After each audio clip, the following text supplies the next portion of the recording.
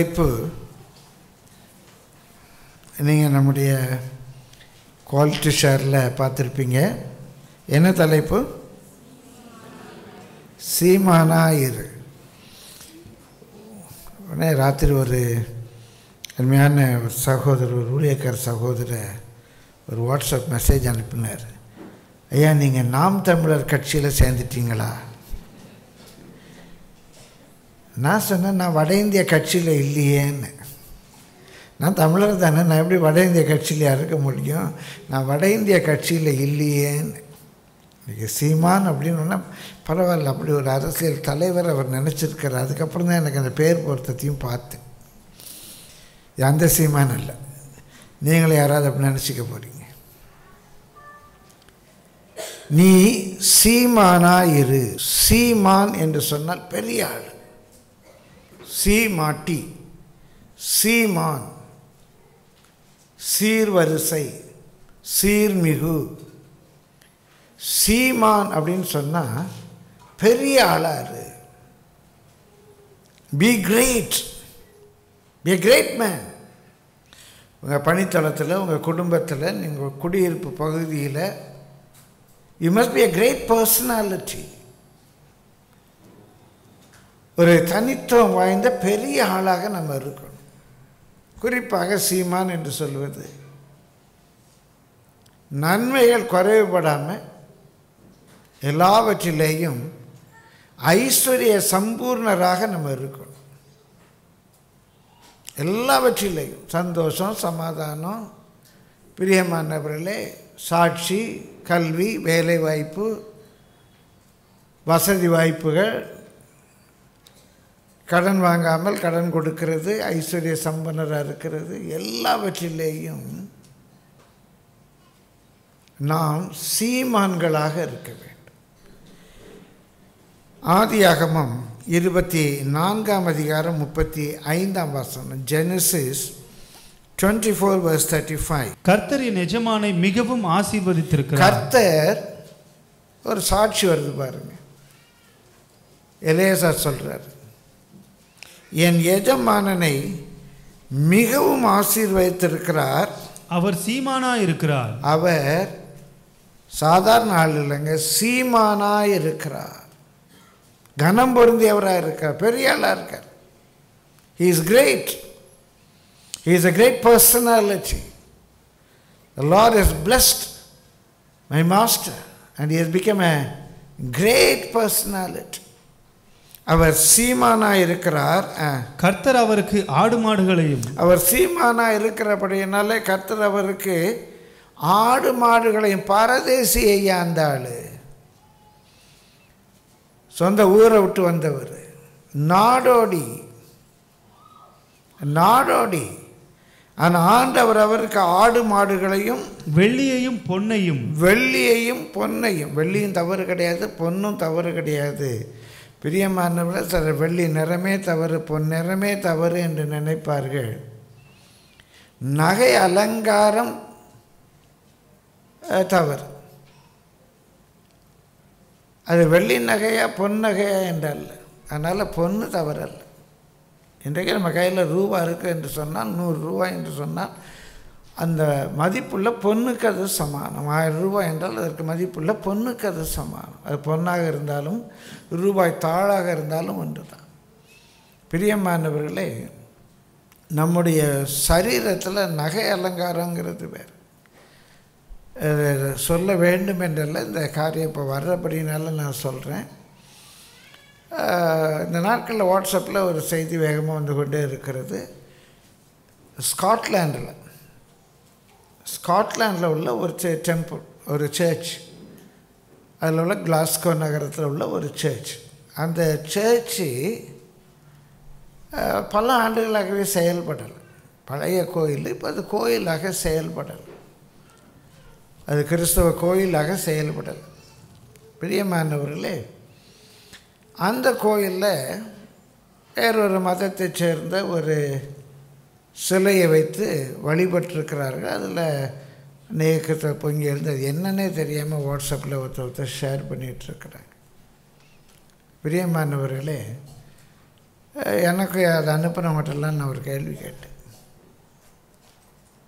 இந்த ஒரு தெய்வத்தினுடைய ஒரு பெண் தெய்வத்தினுடைய ஒரு சிலையை வைத்த உடனே நம்ம இவ்வளோ கஷ்டப்படுறோமே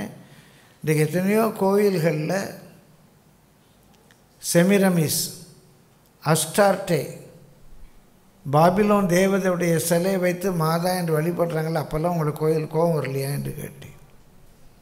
அப்போல்லாம் உங்களுக்கு கோபம் வரலையா என்று கேட்டேன் இங்கிலாண்டில் எத்தனையோ கோயில்கள் சினிமா தியேட்டர்களாக இன்னும் பார்களாக வேதனையான காரியம் இதை குறித்து முன்பு நம்முடைய சபையில் பேசியிருக்கிறேன் புதிய செய்தி அல்ல உங்களில் ஒரு இருக்கு இங்கிலாந்தில் கோயில்கள் வழிபாட்டு தலங்கள் கிறிஸ்தவ வழிபாட்டு தலங்கள் தேட்டர்களாக பார்களாக கேளிக்கை விடுதிகளாக மாறி வருகின்றன பிரியமானவர்களே ஒரு வேளை இப்படிப்பட்ட கல்லினால் கட்டப்பட்ட ஒரு தேவாலயத்திலே வழிபாட்டு தளத்திலே ஒரு விக்கிரகத்தை வைக்கும்போது நமக்கு வேதனையாக இருக்கிறது நம்முடைய வேதம் சொல்லுகிறது உங்கள் நான் கொஞ்சம் சிந்திப்பதற்காக சொல்லுகிறேன் இதை சொல்ல வேண்டும் என்று வரவில்லை உங்கள் சரீரமே தேவனுடைய ஆலயம் என்று இருக்கிறதே உங்கள் சரீரம் தேவனுடைய ஆலயம் உங்கள் சரீரத்தில் பரிசுத்த ஆவியானவர் வாசம் பண்ணுகிறார் அந்த கல்லினால் கட்டப்பட்ட ஆலயங்களிலே மாதா சிலைகள்லாம் வைக்கிறோம் தேரோட்டத்தை நடத்துகிறோம் அந்த சிலைகளில் ஆவியானவர் அந்த இடங்களில் ஆவியானவர் வாசம் பண்ணுகிறாரா இல்லையா தெரியாது நம்முடைய சரீரம் தேவனுடைய ஆலயம் நம்முடைய சரீரத்தில் தேவ ஆவியானவர் வானத்தையும் பூமியும் உண்டாக்கின தேவனுடைய ஆவியானவர் வாசம் பண்ணுகிறாரு தேவனுடைய ஆலயத்துக்கும் விக்கிரகத்துக்கும் சம்பந்தம் எதையா நம்ம சரீரத்தை பரிசுத்தமாக வைக்கலைன்னு அதை பார்த்து தேவன் எவ்வளவு வேதனைப்படுவார் இந்த ஒரு ஃபங்க்ஷன் ஆகாமல் இருந்த செயல்படாமல் இருந்த ஒரு கட்டடம் அதில் ஒரு சிலையை வைத்ததற்கு நமக்கு வேதனையாக இருக்கும் என்று சொன்னால் உயிருள்ள நமக்குள்ளே நம்முடைய சரத்துக்குள்ளே தேவனுடைய ஆவியானவர் இருக்கிறாரே அந்த சரத்தில் விக்கிரகத்துக்கு கீழ்த்திசை போதனைகளுக்கு நாம் இடம் கொடுப்போமே என்று சொன்னால் தேவன் எவ்வளவு வேதனைப்படுவார் சிந்திக்கக்கூடியவர்கள் சிந்தியுங்கள் சிந்தித்து செயலாற்றுங்கள் இது நம்முடைய கண்களை திறக்கிற கருத்தை கொடுத்த ஒரு வாய்ப்புன்னு தான் நான் நினைக்கிறேன்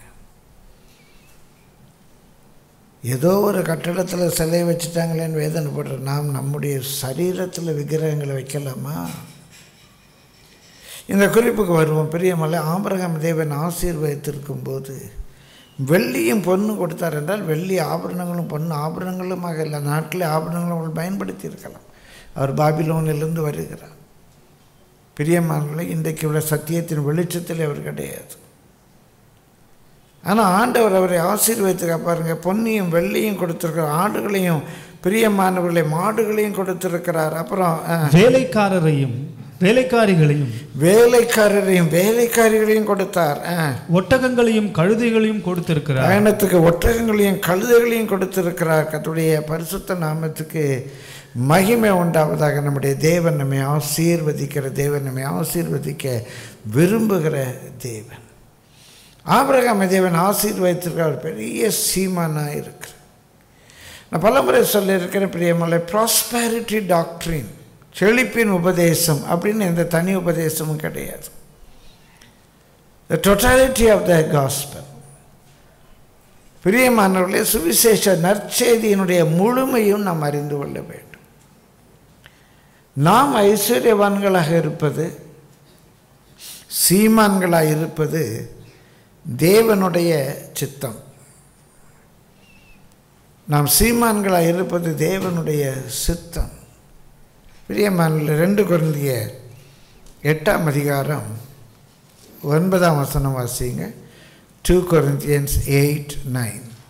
நம்முடைய கர்த்தராகிய இயேசு கிறிஸ்துவின் கிருபையை அறிந்திருக்கிறீர்களே எதனை பேர் அறிந்திருக்கீங்களோ தெரில இன்றைக்கி அறிந்து கொள்ளுங்க நம்முடைய கர்த்தராக இயேசு கிறிஸ்துவின் கிருபையை அறிந்திருக்கிறீர்களே அவர் ஐஸ்வர்யம் உள்ளவராக இருந்தும் தேவாதி தேவன் கர்த்தாதி கர்த்தர் வானத்தையும் பூமியை உண்டாக்கினோம் வெள்ளியும் பொண்ணும் அவருடையது காட்டில் உள்ள மிருகங்கள் விருட்சங்கள் எல்லாம் அவருடையவை மண்ணிலே புதைந்திருக்கிற கனிம வளங்கள் எல்லாம் அவருடையவர்கள்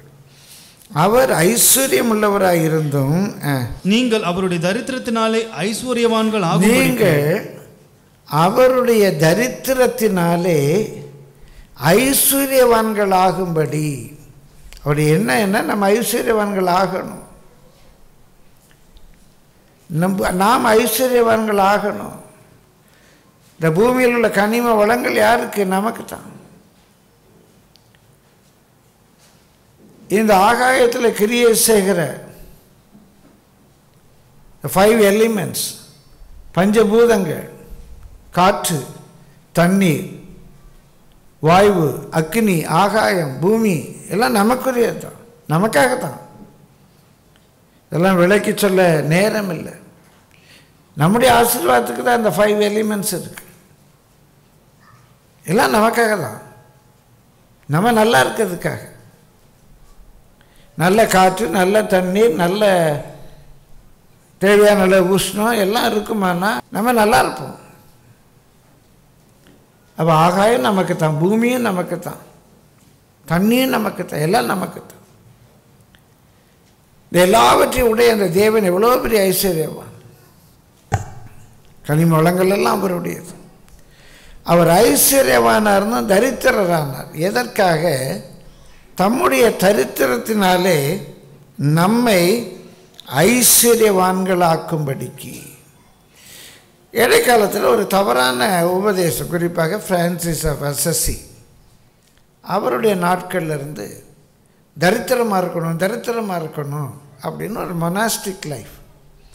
ஒரு துறவரம் நம்ம எல்லாவற்றையும் தொடர்ந்து இருக்கணும் அப்படின்னு ஒரு மொனாஸ்டிக் லைஃப் அது அவர் மூலமாக வந்த அதுக்கு முன்னால் அந்த உபதேசம் கிடையாது பின்னாட்கள் அந்த உபதேசம் வலுவடைய ஆரம்பித்தது மாணவர்களே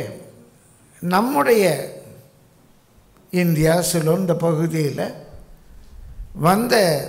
பெந்தைகோசை எழுப்புதலும் அதிகமாக புத்த மதத்தின் பின்னணி சிலோனில் உள்ள புத்த மதத்தின் பின்னணி அதில் உள்ள சில கொள்கைகளும் நமக்குள்ளாக வந்து தரித்திரமாக இருக்கணும் தரித்திரமாக இருக்கணும் அப்படின்னு அவங்க தரித்திரத்தை பின்பற்ற ஆரம்பித்தாங்க ஆனால் வேதத்தில் நம்ம தரித்திரமாக இருக்கணும்னு விருப்பமே கிடையாது இயேசு சாபமானார் எதுக்கு நம்ம சாபத்திலிருந்து விடுதலை ஆகும்படிக்கு இயேசு பாவமானார் எதற்கு நான் பாவத்திலிருந்து விடுதலையாகும்படிக்கு இயேசு தரித்திரரானார் எதற்கு நாம் தரித்திரத்திலிருந்து விடுதலையாகும்படிக்கு இயேசு பிறந்தபோது அவர் உடலை சுற்றுவதற்கு கூட ஒரு துணி கிடையாது பிரியமானவர்கள் அந்த நாட்களில் மாதவிடாய் காலத்தில் பெண்கள் துணிகளை பயன்படுத்துவார்கள் இன்றைக்கு இருக்கிறது போல் டிஸ்போசபிள் நாப்கின்ஸ் எல்லாம் கிடையாது துணிகளை பயன்படுத்தி இருக்கிறார் பயணத்தில் இருக்கும்போது அந்த துணிகளை தூக்கி எறிந்து விட்டு போய் போட்டுப்பார் பயபக்தியோடு சொல்லுகிறேன் அங்கே கந்தை துணி என்று நாம் படிக்கிறோம் பாடுகிறோம் அது கந்தை துணி அல்ல பெண்கள் சீ என்று எழு தூக்கி எழுதி தூரப்பட்ட ஒரு தீட்டு துணி என் இயேசுவை பிறந்த குழந்தையை பிரியமானவர்களே அப்படிப்பட்ட ஒரு துணியிலே தான் சுற்றி அவருக்கு சத்திரத்தில் கூட இடம் கிடைக்கல சத்திரத்தில் கூட இடம் கிடைக்கல ஒரு மாட்டு தொழுவத்திலே கிடத்தினார் அப்படிப்பட்ட ஒரு தரித்திரத்துக்கு வந்தார் அவர் பிறந்த குடும்பம் ரொம்ப தரித்திரமான குடும்பங்க அவர் பிறந்த குடும்பம் ரொம்ப தரித்திரமான குடும்பம் ஏனென்றால் ஒரு ஆட்டுக்குட்டியை கூட உனக்கு பலியிட வக்கு இல்லை வாய்ப்பு இல்லை வசதி இல்லைன்னு சொன்னால் குறைந்தபட்சம் ரெண்டு காட்டுப்புறாவையாவது பலியிடு அப்படின்னு சொல்லி ஆண்டவர் ஒரு எக்ஸப்ஷன் கொடுத்துருக்கார் பழைய ஏற்பாட்டில் எப்போது ஒரு ஆட்டுக்குட்டியை கூட உனக்கு பலியிட உனக்கு வக்கில்லைன்னு சொன்னால் நீ என்ன செய்ய ரெண்டு காட்டுப்புறாவை பலியிடு அப்படின்னு ஒரு எக்ஸப்ஷன் கொடுத்துருக்கிறாரு யோசிப்பு மரியாளும் சுத்திகரிப்பின் நாட்கள் முடிந்து காட்டுப்புறாவை பலியிட்டார்கள் என்று சொன்னால் நான் அறிந்து கொள்ளுகிற பாடம் ஒரு ஆட்டுக்குட்டி வாங்க கூட வக்கு இல்லாதவர்களாக இருந்தார் அவ்வளோ தரித்திரம் இது இயேசு கிறிஸ்தனுடைய ஆரம்பம் பிரியமானவர்களே அவர் எங்கே முளைப்பால் குடித்தார் மாட்டு கொட்டைகள் மாட்டு கொட்டைகள் அங்கே வச்சு அவர் முதல் உணவு அருந்துகிறார் பால் குடிக்கிறார் அந்த இயேசு கிறிஸ்து மறிக்கும்போது தரித்திரத்தில் இருந்தார் அவர் இறுதி ராபோஜனை எங்கே கடைசி சாப்பாடு எங்கே சாப்பிட்றாரு மாட்டுக்கொட்டகையில் ஒரு வீட்டு திண்ணையில் இல்லை மரத்தடியில் இல்லை ஒரு மாடி வீடு அந்த காலத்திலேயே மெத்தை கம்பளங்கள்லாம் விரிக்கப்பட்ட வீடு அங்கே திவான்லாம் இருக்குது நல்லா சாஞ்சிலாம் இருக்குது திவான்லாம் இருக்குது என் இயேசு சாப்பிட்ட கடைசி விருந்து மாட்டுக்கொட்டைகள் இல்லைங்க நல்ல அழகான ஒரு மாடி வீட்டில் மெத்தையில் அந்த காலத்தில் இயேசு மறிக்கும்போது ரோம போர்கள் ரொம்ப பெருமைக்காரங்க அவங்க யூதர்கள்லாம் அடிமைகள் யூதர்கள்லாம் அடிமைகள் அவங்களாம் அதுதான் அந்த ஆர்மி வந்து ரோம்லேருந்து வருது பஸ்கா பண்டிகையை ஒட்டி ரோம்லேருந்து வர்றாங்க அவங்களுக்கு இவங்கெல்லாம் அடிமைகள் யூதர்கள் அதுலேயும் இவர் தேச விரோத குற்றம் சாட்டப்பட்டு தன்னுடைய ஜனத்தினாலேயே கைவிடப்பட்டு ராஜ துரோகம் என்று சொல்லி சீசருக்கு விரோதமாக அவர் பேசினார் என்று சொல்லி மிக கொடூரமான சிலுவை மரணத்துக்கு ஒப்பு கொடுக்கிறார் அவரை நிர்வாணமாக்கி சிலுவையில் அறைகிறார்கள் அந்த ரோம போர் வீரர்கள் இந்த குற்றவாளியினுடைய வஸ்திரத்தின் மேலே சீட்டு போட்டு இது எனக்கு வேணும் இது எனக்கு வேணும் இதுக்கு வேணும் சீட்டு போட்டு அந்த வஸ்திரத்தை அவர்கள் எடுத்தார்கள் என்று சொன்னால் அந்த வஸ்திரம் எப்படிப்பட்ட வஸ்திரமாக இருந்திருக்க வேண்டும் யோசித்து பாருங்கள் தரித்திரமாக இருந்திருப்பார் கந்தை துணியை சுற்றிக்கிட்டு இருந்தார் சாகிற வரைக்கும் அவர் கந்தை துணியை சுற்றி இருந்தால் எந்த பயலாவது அந்த துணிக்கு சீட்டு போட்டு எனக்கு வேணும் உனக்கு வேணும்னு கேட்டிருப்பானா எப்படிப்பட்ட வஸ்திரம் உடுத்திருந்திருப்பார் சரி எல்லாம் சீட்டு போட்டு எடுத்துட்டாங்க ஒரு கார்மெண்ட் எக்ஸ்ட்ரா இருக்குது உள்ளங்கிங்க பனியன் உள்ளங்கி அது ரொம்ப ஸ்பெஷல் கழுத்துலேருந்து கால் வரைக்கும் அப்படியே ஸ்டிச்சிங் இல்லாமல் நெய்திருக்காங்க அப்படியே ரோப் இது யாருக்கு எல்லாத்தையும் பங்கு போட்டாங்க இதுக்கு தான் சீட்டு போட்டாங்க இது யாருக்கு இல்லை எனக்கு வேணும் உனக்கு வேணுங்க அடே சார் நான் சீட்டு போட்டுருவோண்டா இந்த ரோப்னு ஒரு புக்கு உண்டு அந்த புக்கு வாசித்திருக்கு வரலாற்றில் அதை எடுத்த அந்த போர் வீரர் ரட்சிக்கப்பட்டான் என்று வரலாறு சொல்லுகிறது அந்த வரலாற்று அடிப்படையில் ஒரு புக் இருக்குது the rope word by word நான் வாஸ்து புத்தகங்களில் ஒரு புத்தகம் அது கிடைக்குமா நான் வாஸ்து பாருங்கள் அருமையான அந்த வரலாற்று பின்னணியில் அறிந்து கொள்வதற்கு அருமையான ஒரு நூல் பிரியமானவில் அந்த உள்ளங்கிக்கு போட்டு சீட்டை போட்டு எனக்கு உனக்குன்னு போட்டி போட்டு அந்த இதை எடுத்தாள் என்று சொன்னால் அது எவ்வளவு விசேஷமாக இருந்திருக்கும் சரி விடுங்க செத்துட்டாரியா அந்த நாட்களில் சிலுவையில் மறித்தவர்கள் சபிக்கப்பட்டவர்களுடைய பிணங்களை அடக்கம் பண்ண மாட்டார்கள் மலையில் தூக்கி எரிந்து விடுவார்கள் சிலுவையில் மறித்தவருடைய பிணங்களுக்கு மரியாதை செய்து அடக்கம் பண்ண மாட்டார்கள் பிறந்தபோது மின்னணையில் கடத்தினார்கள் அவர் மறித்தபோது ஐஸ்வர்யவானுடைய கல்லறையிலே கடத்தினார்கள் ரெண்டு இடத்துல அவரை கடத்தினார்கள் என்று வரும் பிறந்தபோது முன்னணியிலே கடத்தினார்கள் மறித்தபோது ஏதோ ஒரு மண்ணில் போட்டு மூடலை ஒரு ஐஸ்வர்யவானுடைய கல்லறையில் இப்படிப்பட்ட ஐஸ்வர்யவான் பிள்ளாத்திட்ட போய் டைரெக்டாக பேசுகிறான் பேசி எனக்கு அந்த பாடியை கொடுன்னு கேட்டு வாங்குகிறான் அந்த அளவுக்கு இன்ஃப்ளூயன்ஷியல் பர்சன்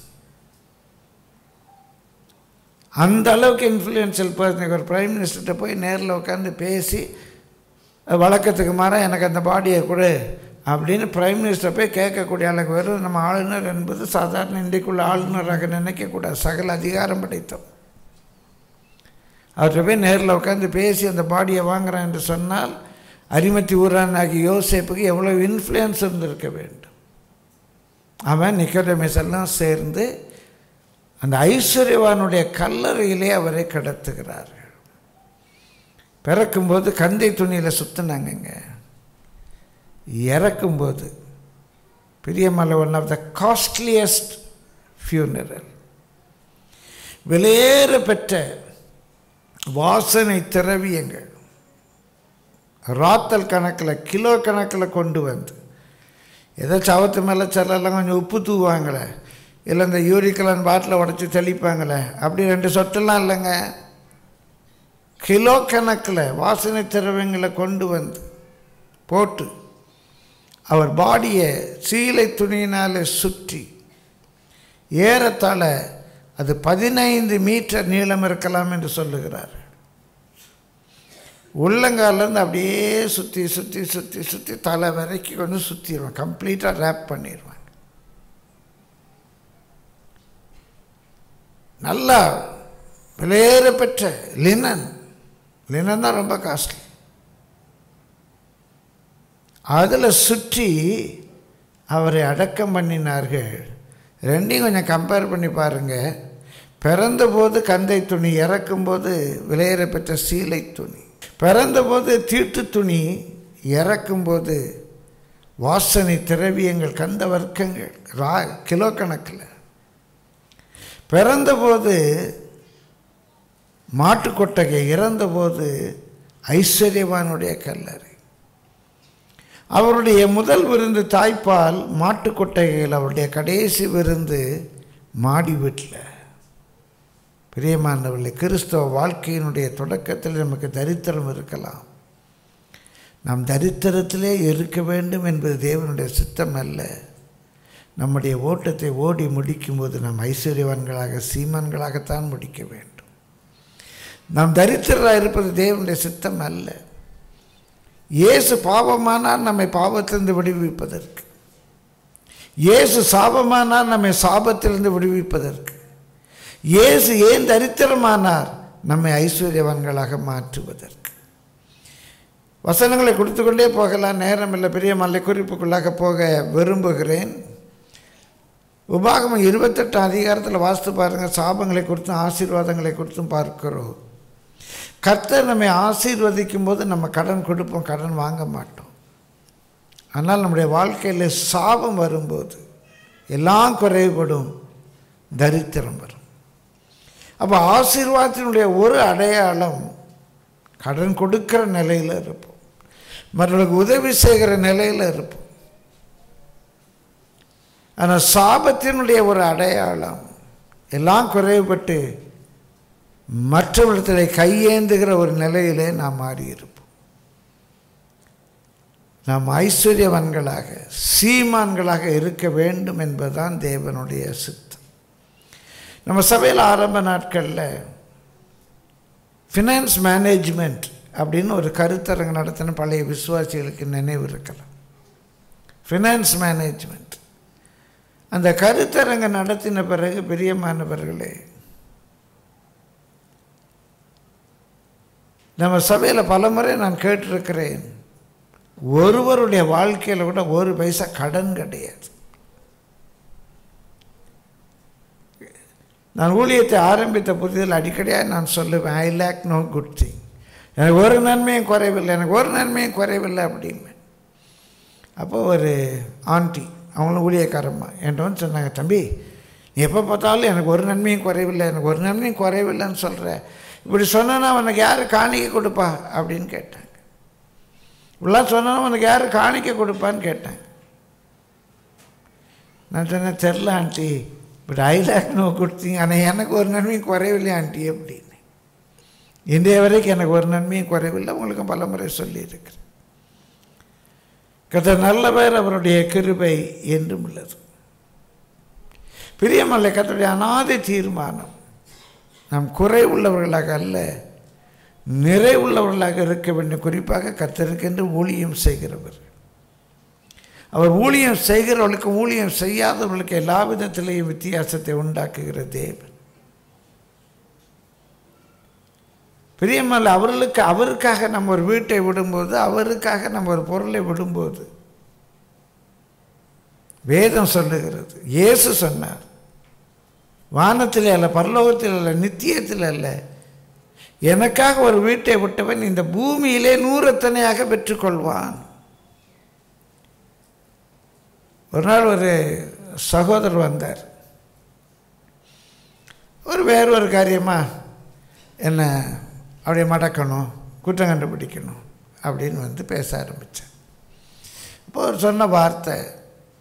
இயேசு தன்னை பின்பற்றி வர விரும்புகனை பார்த்து தன்னை உண்டான எல்லாவற்றையும் விற்று தருத்திரத்தை கொடுத்து என்னை பின்பற்றிவான்னு சொன்னார் அந்த வசனம் அடிக்கடியே என் மனசில் வந்துக்கிட்டே இருக்குன்னார் அப்படியா பிரதர்னு நீங்கள் என்ன சொல்கிறீங்கன்னார் கத்த சொன்னால் அப்படி செய்யுங்கன்னு இல்லை இல்லை நீங்கள் என்ன சொல்கிறீங்கன்னார் அதுவும் பைபிளே சொல்லியிருக்கு உங்களுக்கு அந்த வசனம் வந்துக்கிட்டே இருக்குது நீங்கள் செய்யுங்க அவருக்காக எல்லாத்தையும் விட்டுட்டு நீங்கள் தரித்திரம் கொடுத்துட்டு அவரை பின்பற்றுங்க இல்லை இல்லை மூணாவது ரெக்கார்ட் நீங்கள் என்ன சொல்கிறீங்கன்னு உங்களுக்கு அது என்ன வசனம் கொடுக்காரு அந்த வசனம் கீழ்ப்படிங்க எனக்கு ஆண்டவர் சொல்லியிருக்காரு நீ ஒரு வீட்டை விட்டேன்னா உனக்கு நூறு வீடு தருவேன்னு இருக்கார் எப்போ தருவார்னு பார்த்துக்கிட்டு இருக்கேன்னு அதான் ஆண்டவர் தான் சொல்லியிருக்காரு ஏன்னா அவர் கூப்பிட்டார் என்பதற்காக என்னுடைய மூணு டிகிரி சர்டிஃபிகேட்டை வாங்காமல் இன்னும் ஒரு சில நாட்கள் வேலை பார்த்தால் சொல்கிறாங்க கான்ட்ரிபியூட்ரி பிஎஃப்னு சொல்லுவாங்க வேலை தனியார் நிறுவனத்தில் வேலை பார்க்குறவங்களுக்கு தெரியும் ஐந்து வருஷம் நான் என்ன பிஎஃப் கட்டியிருக்கணும் அதே பிஎஃப் எனக்கு என்னுடைய மேனேஜ்மெண்ட் கொடுக்கணும் இன்னும் ஒரு ஃபியூ டேஸ் ஒர்க் பண்ணால் என்று சொன்னவங்கிட்ட சொன்ன கேட்டால் நான் செத்துட்டா என்ன பண்ணேன்னு கேட்டேன் அந்த கான்ட்ரிபியூட்ரி பிஎஃப் வேண்டான்னு விட்டுட்டு வந்தேன் என் சர்டிஃபிகேட்ஸை வாங்காமல் வந்தேன் ஆறு வாய் சாப்பிடணும் நான் என் மனைவி ரெண்டு பிள்ளைகள் எங்கள் அப்பா அம்மா கூட இருக்கிறாங்க அடுத்த வேலைக்கு என்ன சாப்பாடுன்னு தெரியாது ஆண்டவர் கூப்பிட்டார் என்று வந்தேன் என் நிமித்தமாக ஒரு வீட்டை விட்டால் நூறு வீடு தருவேன் என்று சொன்னாரே தந்திருக்கிறார் நன்மை குறைபட விடலை எங்களுக்கு நன்மை குறைபட விடலை எங்களுக்கு பிரியமானவர்களை கத்தோடைய பரிசுத்த நாமத்துக்கு மயமுறைய போது நான் சொல்லுகிற see the totality of the Bible வெறும் ப்ராஸ்பரிட்டி டீச்சிங்னு ஒரு டீச்சிங் கிடையவே கிடையாது ஆனால் தரித்திரம் என்பதும் தேவனுடைய தீர்மானம் அல்ல தேவன் நம்மை ஆசீர்வதிக்கும் போது கண்டிப்பாக நம்ம ஐஸ்வர்யவான்களாக இருப்போம்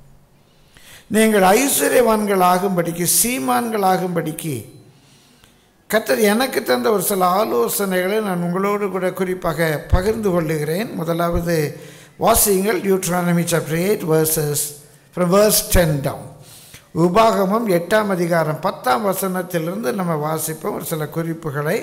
ஆகையால் நீ புசித்து திருப்தி அடைந்திருக்கையில் நீ புசித்து திருப்தி அடைந்திருக்கையில் உன் தேவனாகிய கர்த்தர் உனக்கு கொடுத்த அந்த நல்ல தேசத்துக்காக அவரை ஸ்தோத்தரிக்க கடவுள் கர்த்தர் கொடுத்த நல்ல வேலைக்காக கர்த்தர் கொடுத்த நல்ல தொழிலுக்காக கர்த்தர் கொடுத்த நல்ல குடும்பத்துக்காக கர்த்தர் கொடுத்த நல்ல வசதி வாய்ப்புகளுக்காக எல்லாவற்றையும் கர்த்தர் கொடுத்த சுகத்துக்காக பலனுக்காக அந்த புத்திக்காக யுக்திக்காக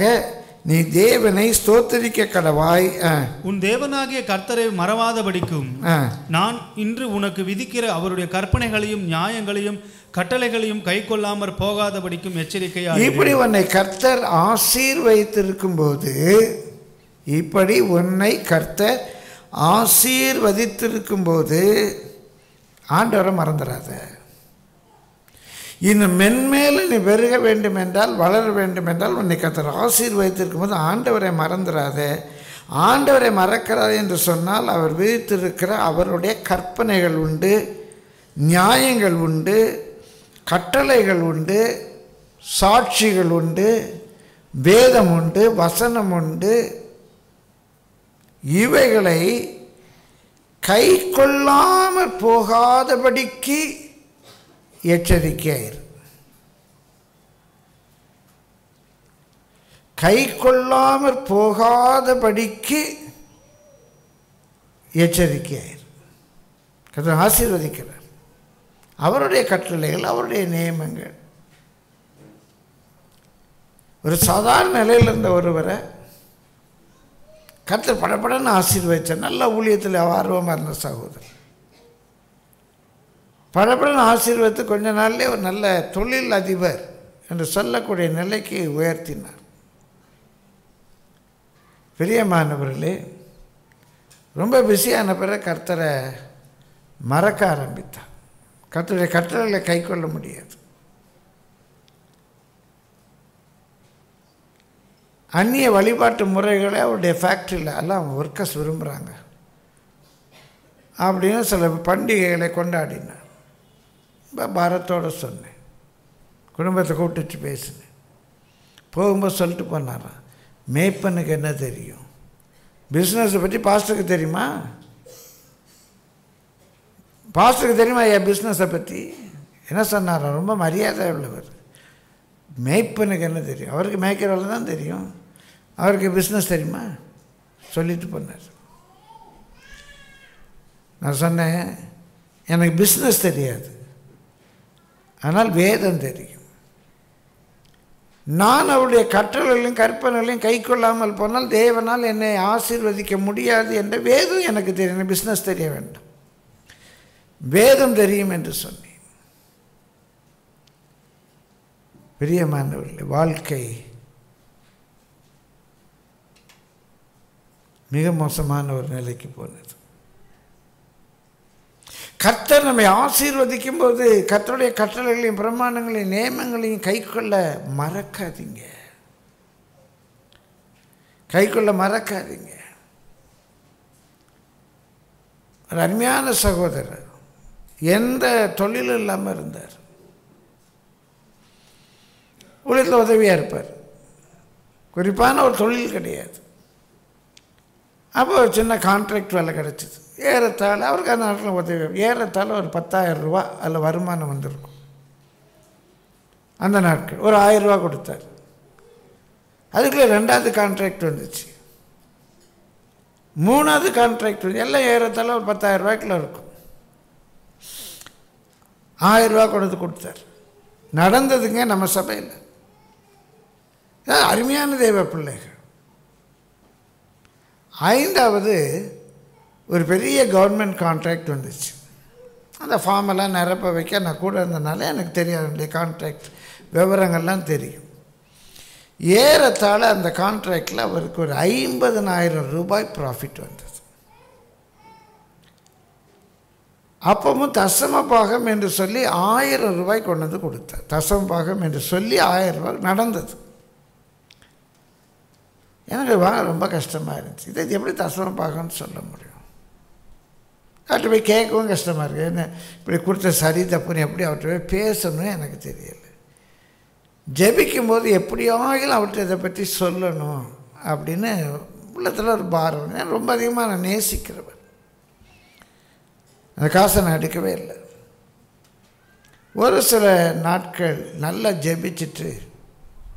ஒரு நாள் அவர் கூட்டி சொன்னேன் உங்களுக்கு இது தஸ்வம் பாகம் என்றால் பத்தில் ஒன்று என்று சொல்கிறோம் உங்களுக்கு ஐம்பதனாயிரரூவா வருமானம் வந்திருக்கு நீங்கள் என்ன இப்போவும் ஆயிரரூவா கொடுத்துருக்கீங்க எனக்காக இல்லை உங்களுக்காக கேட்குறேன் அப்போ அவர் சொன்னார் இல்லை நான் தீர்மானம் பண்ணிட்டேன் எந்த ப்ராஜெக்ட் வந்தாலும் ஆயிரரூவா கொடுக்க போகிறேன்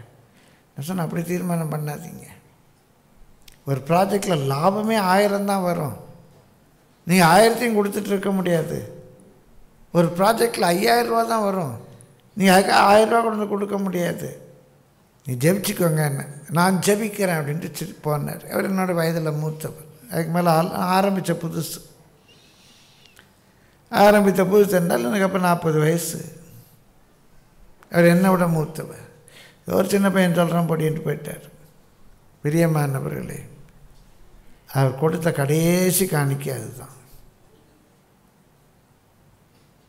சபை அவருக்கு உதவ வேண்டிய நிலை வந்தது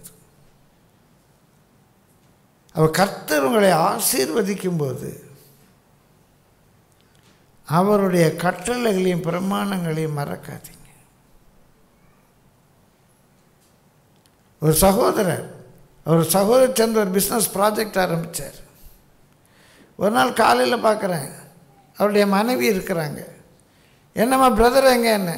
அவங்க அந்த சிஸ்டரோட அந்த ப்ராஜெக்ட்டுக்கு போயிருக்காங்கன்னாங்க ஏமா என்ன ஞாயிற்றுக்கிழமையா என்ன சொன்னையா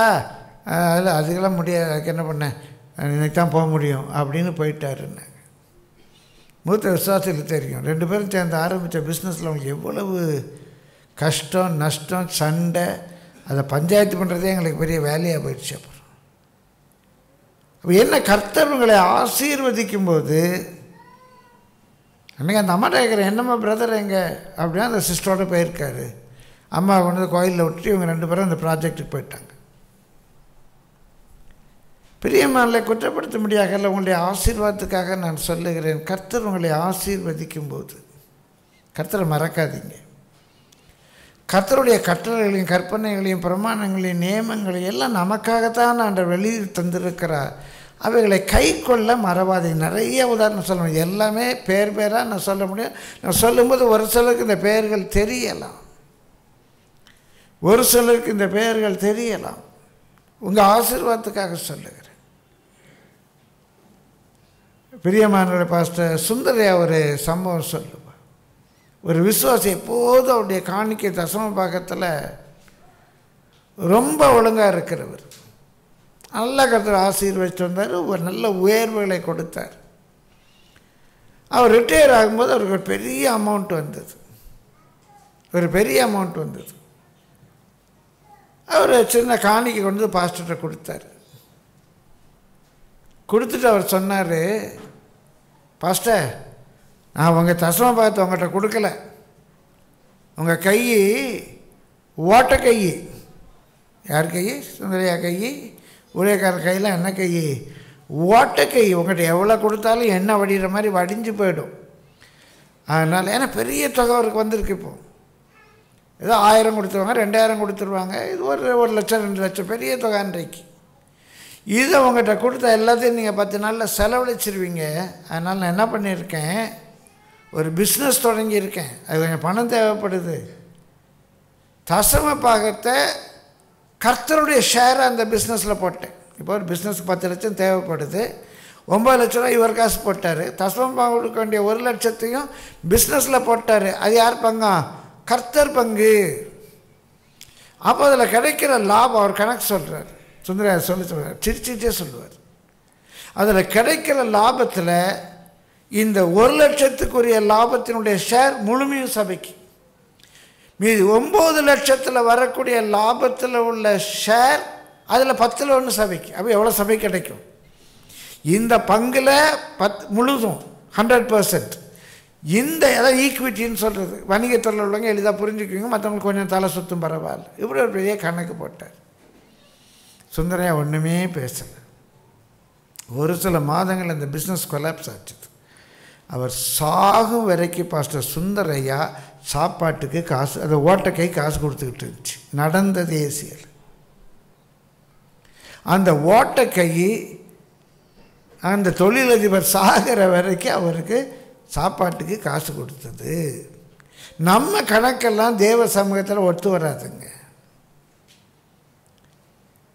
கர்த்தர் உங்களை ஆசீர்வதித்திருக்கும் போது ஏதோ உங்கள் நன்மையினால் திருப்தியாக்கும் போது ஒரு வேலை வாய்ப்பை கொடுக்கும்போது ஒரு தொழிலை காட்டி கொடுக்கும்போது கர்த்தரை மறவாதீங்க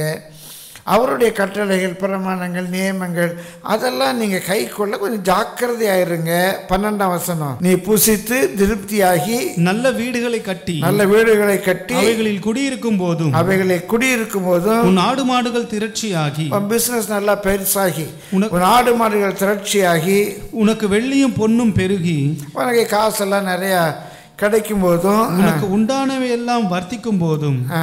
உன் இருதயம் மேட்டிமை அடையாமலும் உன் இருதயம் மேட்டிமை அடையாமலும் உன்னை அடிமைத்தன வீடாகிய எகிப்திலிருந்து புறப்பட பண்ணினவரும் உன்னை இந்த நிலைக்கு உயர்த்தினர்ல உயர்த்தினவரும் உன்னுடைய பின் நாட்களில் உனக்கு நன்மை செய்யும் பொருட்டு உனக்கு இப்படி நன்மை செய்யும் பொருட்டு உன்னை சிறுமைப்படுத்தி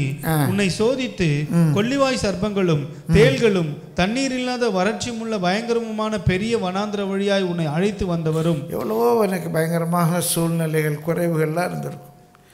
அந்த சூழ்நிலை வழியாய் உன்னை கொண்டு வந்து உனக்காய் பாறையான கண்மலையிலிருந்து தண்ணீர் புறப்பட பண்ணினவரும் உன் பிதாக்கள் அறியாத மன்னாவினால் வனாந்திரத்திலே உன்னை போஷித்து வந்தவருமான உன் தேவனாகிய கர்த்தரை நீ ஒருவேளை நீ செய்கிற அந்த வேலை உங்கள் அப்பா அம்மாவுக்கு தெரிஞ்ச வேலை இல்லை உங்கள் அப்பா அம்மா இந்த வேலை செஞ்சதில்லை அப்பா அம்மா இந்த பிஸ்னஸ் செஞ்சதில்லை உன் முப்பிதாக்கள் இந்த லைனில் இருந்ததில்லை வித்தியாசமான ஒரு சூழ்நிலை ஒரு ஆஃபீஸில் உள்ள வேலை இல்லை ஒரு பிஸ்னஸ் இல்லை ஒரு ப்ரொஃபஷன் முற்பதாக்கள் அறியாதது அதை உனக்கு கொடுத்து மன்னாவினால் உன்னை போஷித்தவரும் வனாந்திரத்திலே உன்னை போஷித்து வந்தவருமான உன் தேவனாகிய கர்த்தரை நீ மறவாமலும் அவரை மறவாமலும் என் சாமர்த்தியமும் என் கைபலனும் இந்த ஐஸ்வர்யத்தை எனக்கு சம்பாதித்தது என்று உயர்த்திட்டு இருக்கும்போது சொன்னார் இல்லையா மேய்ப்பனுக்கு என்ன தெரியும் மேய்ப்பனுக்கு என்ன தெரியும் டைலாக் பேசினார் இல்லையா என் சாமர்த்தியமும் என் கைபலனும் இந்த ஐஸ்வர்யத்தை எனக்கு சம்பாதித்தது என்று நீ உன் இருதயத்தில் சொல்லாமலும் சொல்லிக்கொள்ளாமலும் இருக்க எச்சரிக்கையாக இருந்து எச்சரிக்கை ஒரு பெரிய சென்டென்ஸுங்க முழுவதும் ஒரே வாக்கியம் எச்சரிக்கையாயிருந்து உன் தேவனாகிய கர்த்தரை நினைப்பாயாக உன் தேவனாகிய கர்த்தரை நினை அப்படின்னா கர்த்தரை என்னென்ன ஆண்டு ஆண்டு ஆண்டு எல்லா சூழ்நிலை அவரை கனப்படுத்தி அவரை முன்வைத்து அவருடைய வழிகளை வாழ்க்கையில் கை கொண்டு உன் கர்த்தரை நினைப்பாயாக அவரே உன் பிதாக்களுக்கு ஆணையிட்டு கொடுத்து தம்முடைய உடன்படிக்கையை உறுதிப்படுத்தும்படி இந்நாளில் உனக்கு உண்டாயிருக்கிறது போல ஐஸ்வர்யத்தை சம்பாதிக்கிறதுக்கான பலனை உனக்கு கொடுக்கிறவர் அவரே ஐஸ்வர்யத்தை நீ சம்பாதிப்பதற்கான பலனை கொடுப்பார் எப்படி நம்ம ஐஸ்வர்யன் ஆக முடியும் நம்ம ஐஸ்வர்யத்தை சம்பாதிக்கக்கூடிய வழிகளை திறந்து கொடுப்பார் அதற்குரிய ஞானத்தை தருவார் அதற்குரிய பலனை தருவார் அவருக்கென்று உழைக்க பலன் தருவார் ஓட சாட பலன் கொடுப்பார் படுத்துட்டோன்னா என்ன பண்ண முடியும் அப்போ இன்றைக்கு நம்ம உழைத்தா தான் there's no substitute for hard work there's no substitute for hard work ஊழியம் செய்கிறோம் உலக பிரகாரமாக சொல்கிறேன் இங்கே இருக்கிற தம்பிமாருக்கு தெரியும் பிரியமானவர்களே நிறைய பேர் நினச்சிக்கோங்க ஊழியக்காரங்கன்னு வாரம் முழுசில் ஃப்ரீயாக இருக்காங்கன்னு இருக்கவங்கிட்ட கேட்டு பாருங்க பிரியமானவர்களே ஆறு மணி நேரம் தூங்க கிடைத்தால் எனக்கு பெருசு ஒரு வினாடி கூட நான் ஃப்ரீயாக இருந்தேன் என்று சொல்ல முடியாது கத்தர் பலன் தர்றேன் கத்தருக்காக உழைக்க வாழ்ந்துருக்கிறோம் இந்த பலன் தர்றாரு அதே போல் உங்களுக்கு பிஸ்னஸே பலன் கொடுப்பார் பலன் கொடுப்பார் உங்களை உற்சாகப்படுத்த சொல்கிறேன் அப்போ தான் நம்ம ஐஸ்வர்யத்தை சம்பாதிக்க முடியும் உலக பிரகாரமாக நாங்களும் ஊழியத்தில் உழைத்தால்தான் ஊழியத்தினால் உள்ள ஆசீர்வாதமும் எங்களுக்கு வரும்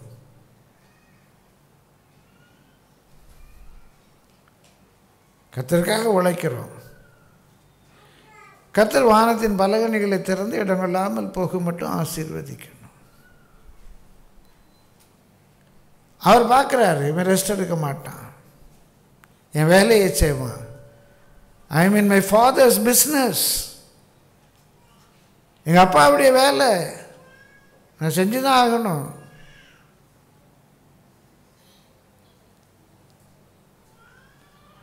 செஞ்சு தான் ஆகணும் இருக்கிற வரைக்கும் ஓடுவோம் கூப்பிட்டாருன்னு போயிடலாம் செவ்வாய்க்கிழமை ஆஞ்சோ பிளாஸ்ட் நினைவுறனால சொல்கிறேன் வியாழக்கிழமை ரூம் வெள்ளிக்கிழமை டிஸ்சார்ஜ் சனிக்கிழமை ஞாயிற்றுக்கிழமை சர்ச் திங்கக்கிழமை கேம்ப் நினை வருது மன்னித்து கொள்ளுங்க போன வருஷம் இதே ந அக்டோபர் முப்பது அந்த அக்டோபர் முப்பது சனிக்கிழமைன்னு நினைக்கிறேன் நிலைமை கொஞ்சம் மோசமாயிடுச்சு டாக்டர் பிரவீன் மருமக ஆஸ்பத்திரி கொண்டு போகிறாங்க அடுத்த நாள் சண்டே ஒன்றும் செய்ய முடியாது கொஞ்சம் பெட்டராச்சு நைட்டில் ரெண்டு மணிக்கு ஒன்றரை ரெண்டு மணி இருக்கும் வீட்டுக்கு பெர்மிஷன் கேட்டு வந்தோம் நைட்டில் ப்ரிப்பேர் பண்ணேன் சண்டே மார்னிங் ஈவினிங் பேசினேன் அதுக்கடுத்த நாள் ஒன்றாந்தேதி மார்னிங் சர்ஸ் எடுத்து ரெண்டாந்தேதி தீபாவளி அவங்க வீட்டு கூட்டு பண்ணாங்க மருந்து அங்கேயும் பெயின் இருந்தது திரும்ப அங்கேருந்து போய் ஹாஸ்பிட்டலில் அட்மிட் ஆகணும்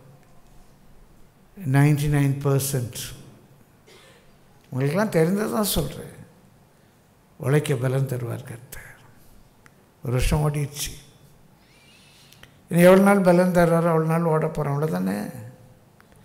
there is no substitute for hard work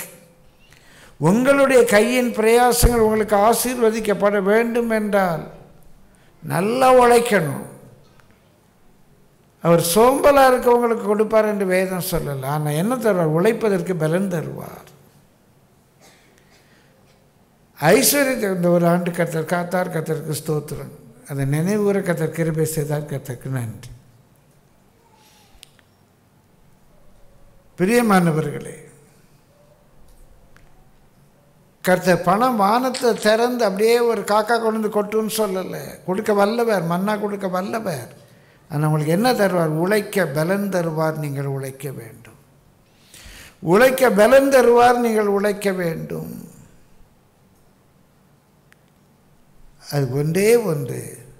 உங்கள் கர்த்தரை கர்த்தருடைய பிரின்சிபிள்ஸை வாழ்க்கையில் மறக்காமல் இருங்க சொல்லிகிட்டே போகலாம் ரெண்டாவது குறிப்புக்கு போகிறேன் வாசியங்கள் சங்கீதம் பதினாறு ஐந்தாம் வசனத்திலிருந்து கர்த்தர் என் சுதந்திரமும் என் பாத்திரத்தின் பங்குமானவர் என் சுதந்திரத்தை தேவரீர் காப்பாற்றுகிறீர் கர்த்தர் என்னுடைய சுதந்திரமும் என்னுடைய பாத்திரத்தின் பங்கு என்னுடைய பாத்திரம் என்னுடைய ரோல் என்னுடைய பிஸ்னஸ் அதில் பார்ட்னர் யார் ஆண்டவர் தான் என்னுடைய பார்ட்னர்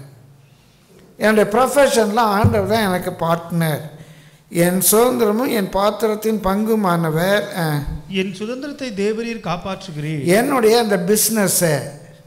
என்னுடைய மினிஸ்ட்ரியை என்னுடைய எஸ்டேட்டை நீங்கள் காப்பாற்றுகிறீர் என்றெல்லாம் நீங்கள் தான் மெயின்டைன் பண்ணுறீங்க கற்றுட்டு ஒப்பு கொடுங்க நீ தான் எனக்கு பார்ட்னர் நீ தான் அந்த பிஸ்னஸை மெயின்டைன் பண்ணுகிறீர் நேர்த்தியான இடங்களில் எனக்கு பங்கு கிடைத்தது my lines have fallen to me in pleasant places என்று இருக்குது நேர்த்தியான இடங்களில் எனக்கு பங்கு கிடைத்தது அப்படின்னா என்ன பொருள்னா ஒரு வீட்டில் ஒரு லேண்டை பாகம் பிரிக்கிறாங்க ரெண்டாக பா ரெண்டாக பிரிக்கிறாங்க அதில் ஒன்று ரோடு பக்கத்தில் இருக்குது இன்னொன்று உள்ளே இருக்குது இல்லை ஒரு நல்ல தோப்பு பனந்தோப்பு தென்னந்தோப்பு மாந்தோப்பு ரெண்டாக பிரிக்கிறாங்க அதில் ஒன்று கொலக்கொரை பக்கம் வருது இன்னொன்று கொஞ்சம் ஒரு ரோடோரமாக வருது யாருக்கு அந்த கொலக்கரை பக்கமாக இருக்கிறத கொடுக்கறது இல்லை யாருக்கு இந்த வச நேர்த்தியான இடத்த கொடுக்கறதுனா அந்த நாட்களில் சீட்டு போடுவாங்க அண்ணனுக்கா தம்பிக்கா யாருக்கு கொடுக்கலாம் இவர் சொல்கிறாரு என்னுடைய சீட்டு மை லைன்ஸ் அந்த கோடு எனக்கு நல்ல இடத்துல கிடச்சிதுங்க my lines of fallen and me in and places எனக்கு கோடு நல்ல இடத்துல கிடச்சிது ஆமாம் சிறப்பான சுதந்திரம் எனக்கு உண்டு குட்லி ஹெரிட்டேஜ் நல்ல ஒரு வெல்த் ஆண்டவர் தான் என்னுடைய பிஸ்னஸை மெயின்டைன் பண்ணுறாரு என்னுடைய வரவு செலவெல்லாம் பார்க்குறாரு அவர் எனக்கு வந்து நல்ல எல்லாமே நல்லதாக நடக்குது நான் அடிக்கடி சொல்கிறேன் இல்லையா என் வாழ்க்கையில் எனக்கு எல்லாமே நல்லதாக இருந்துச்சுங்க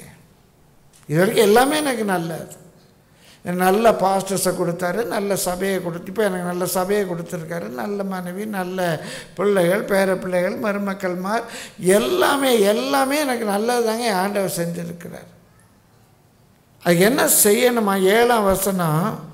எனக்கு ஆலோசனை தந்த கர்த்தரை துதிப்பே எனக்கு ஆலோசனை தந்த கர்த்தரை துதிப்பே ராக்காலங்களிலும் என் உள்ளந்திரியங்கள் என்னை உணர்த்தும் ராக்காலங்களிலும் என் உள்ளந்திரியங்கள் என்னை உணர்த்தும்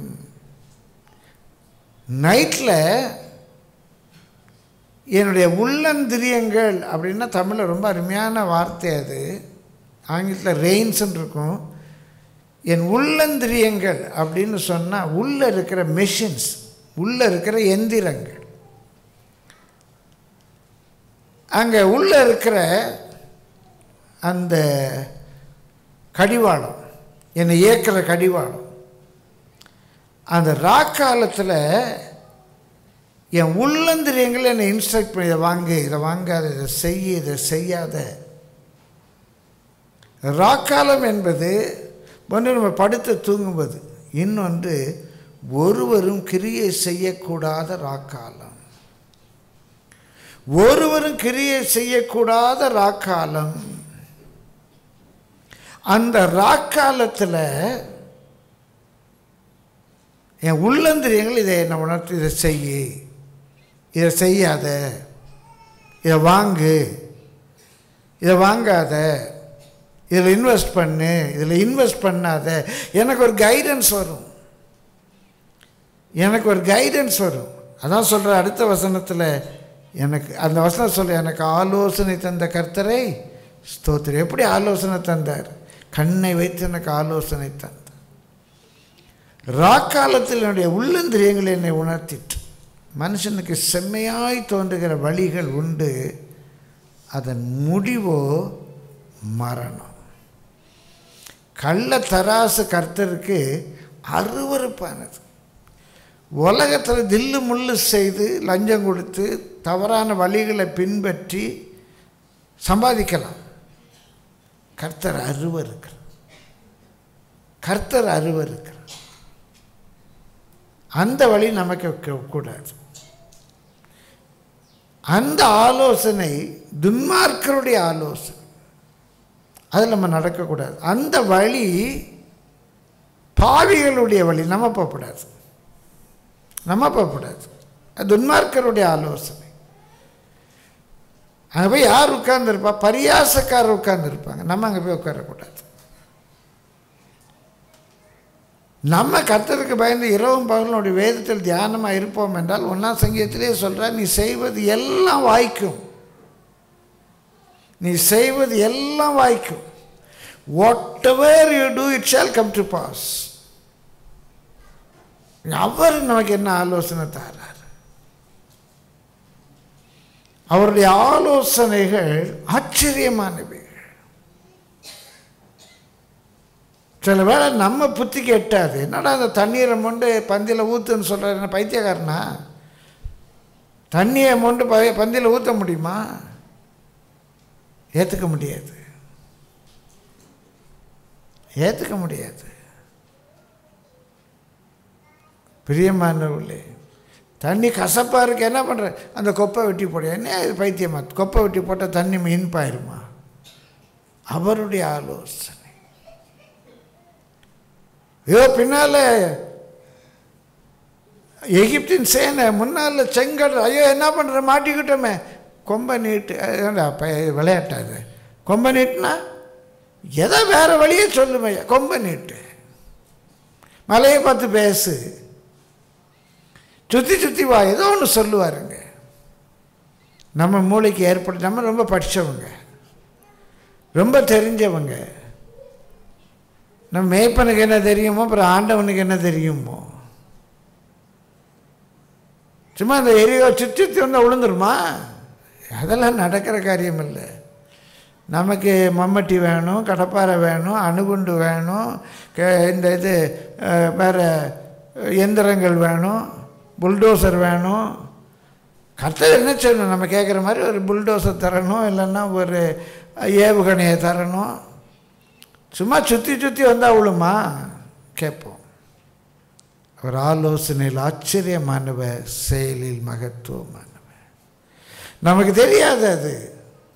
அதில் ரகசியம் இருக்குது நமக்கு தெரியாது ஆனால் கர்த்தர் சொன்னார் என்று செய்யணும் அப்போ கர்த்தரால் உள்ள ஆசீர்வாதம் நமக்கு வரும் மனுஷனுக்கு செம்மையாய் தோன்றுகிற வழிகள் உண்டு அதனுடைய முடிவோ மரணம் ஒரு உண்மையான சம்பவம் அமெரிக்காவில் ஒரு கிராமத்தில் ஒரு விவசாய கிராமம் அது பருத்தி பயிரிட வேண்டிய காலம் பருத்தி பயிரிட வேண்டிய அந்த காலத்தில் அங்கே இருந்த ஒரு விசுவாச விவசாயி விசுவாச விவசாயி அவருக்கு ஒரு ஆண்டு ஒரு ஆலோசனை தர்றாரு வேர்க்கடலை பயிரிடு அது வேர்க்கடலை பயிரிடுற காலமெல்லாம் ஆண்டவர் உணர்த்துறார் தெளிவாக அவரோட பேசுகிறார் ஆண்டவர் சொல்லிட்டாரேன்னு சொல்லி ஒரு வேர் நடந்தது வேர்க்கடலை பயிரிடுறார்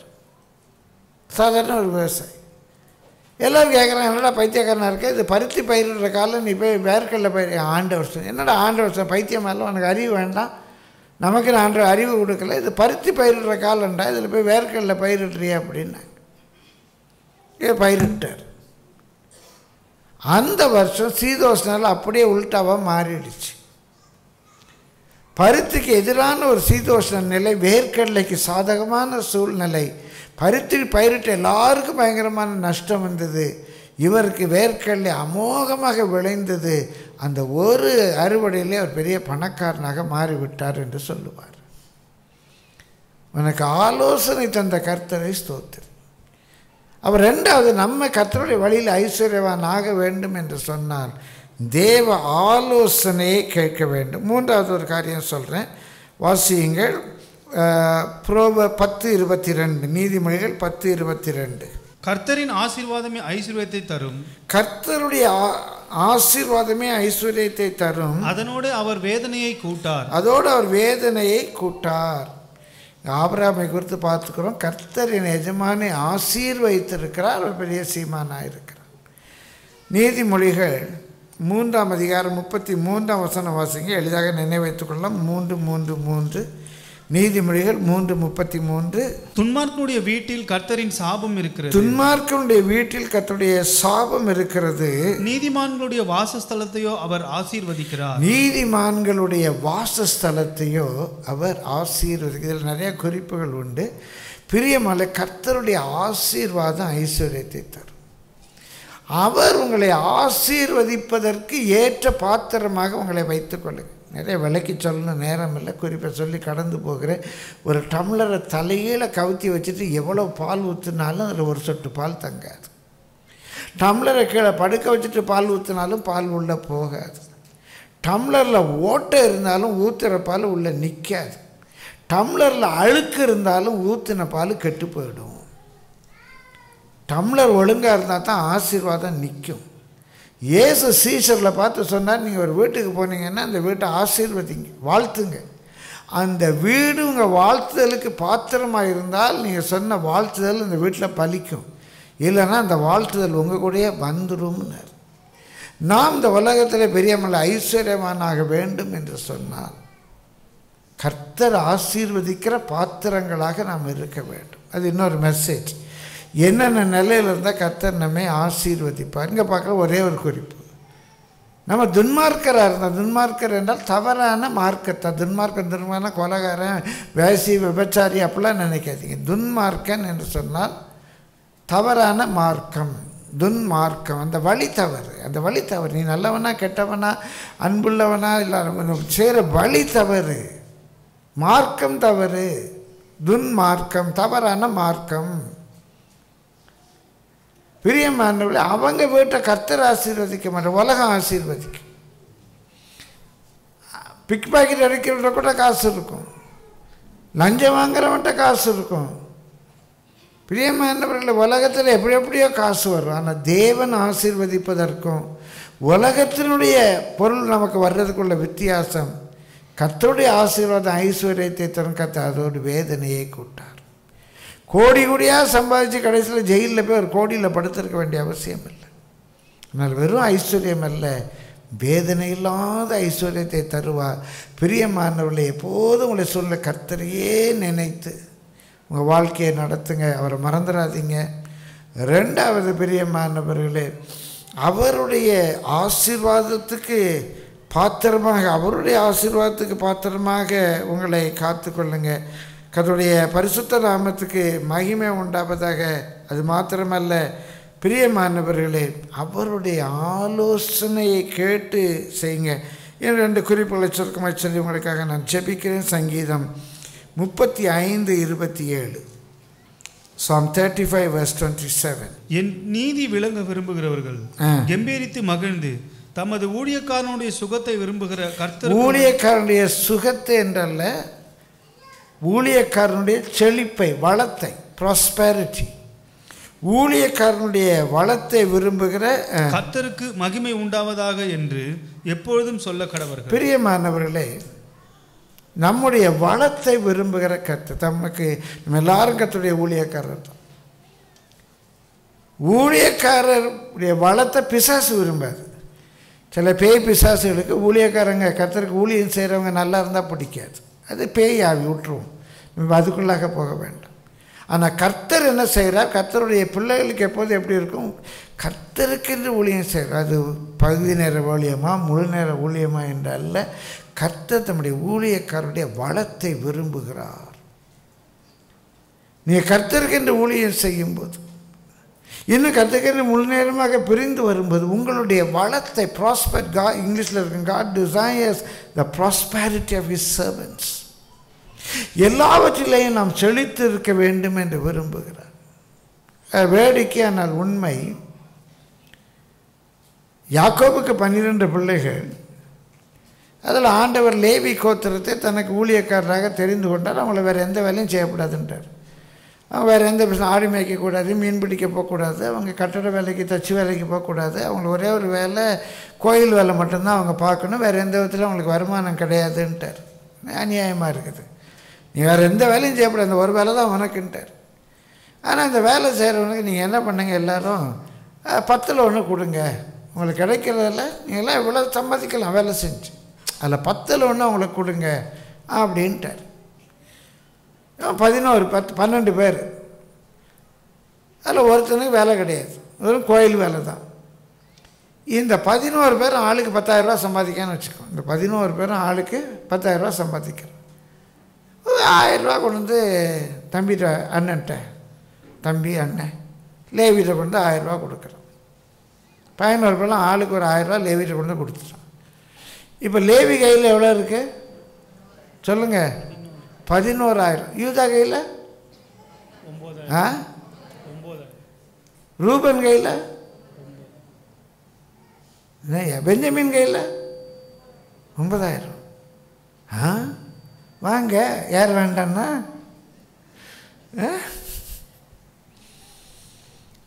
பிரியமானவர்களே சொல்ல நிறைய பேர் பயப்படுவாங்க பயப்படுற ஒன்றுமே இல்லைங்க இதாங்க கணக்கு இதுதான் கணக்கு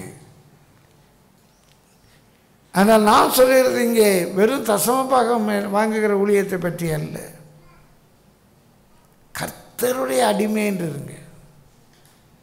உங்கள் வளமான வாழ்வை கத்த விரும்புகிறார் நீங்கள் என்ன செய்யுங்க எல்லாவற்றிலும் கத்தரை மகிமைப்படுத்துங்க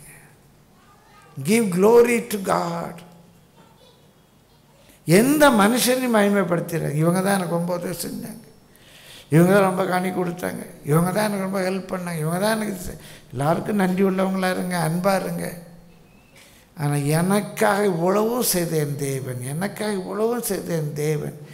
என்று சொல்லி எல்லா சூழ்நிலை கத்தர் கொடுத்த சுகம் கத்தர் கொடுத்த பலன் கத்தர் கொடுத்த ஞானம் கத்த திறந்த வழிகள் என்று சொல்லி கர்த்தரையே மகிமைப்படுத்துங்க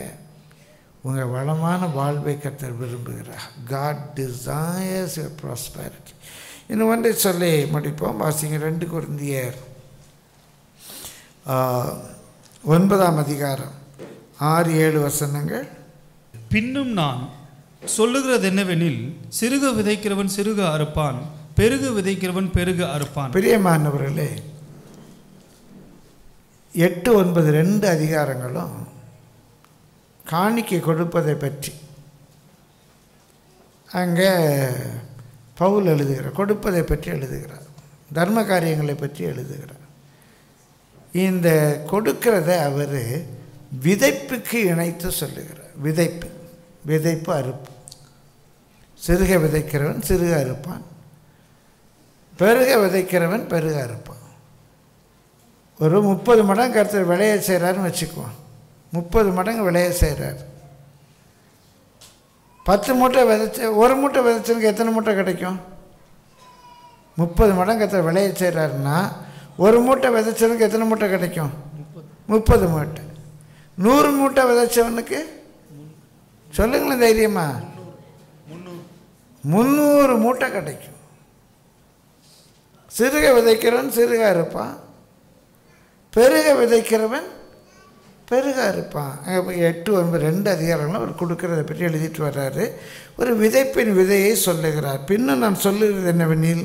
சிறுக விதைக்கிறவன் சிறுக இருப்பான் பெருக விதைக்கிறவன் பெருக இருப்பான் அவனவன் விசனமாயும் அல்ல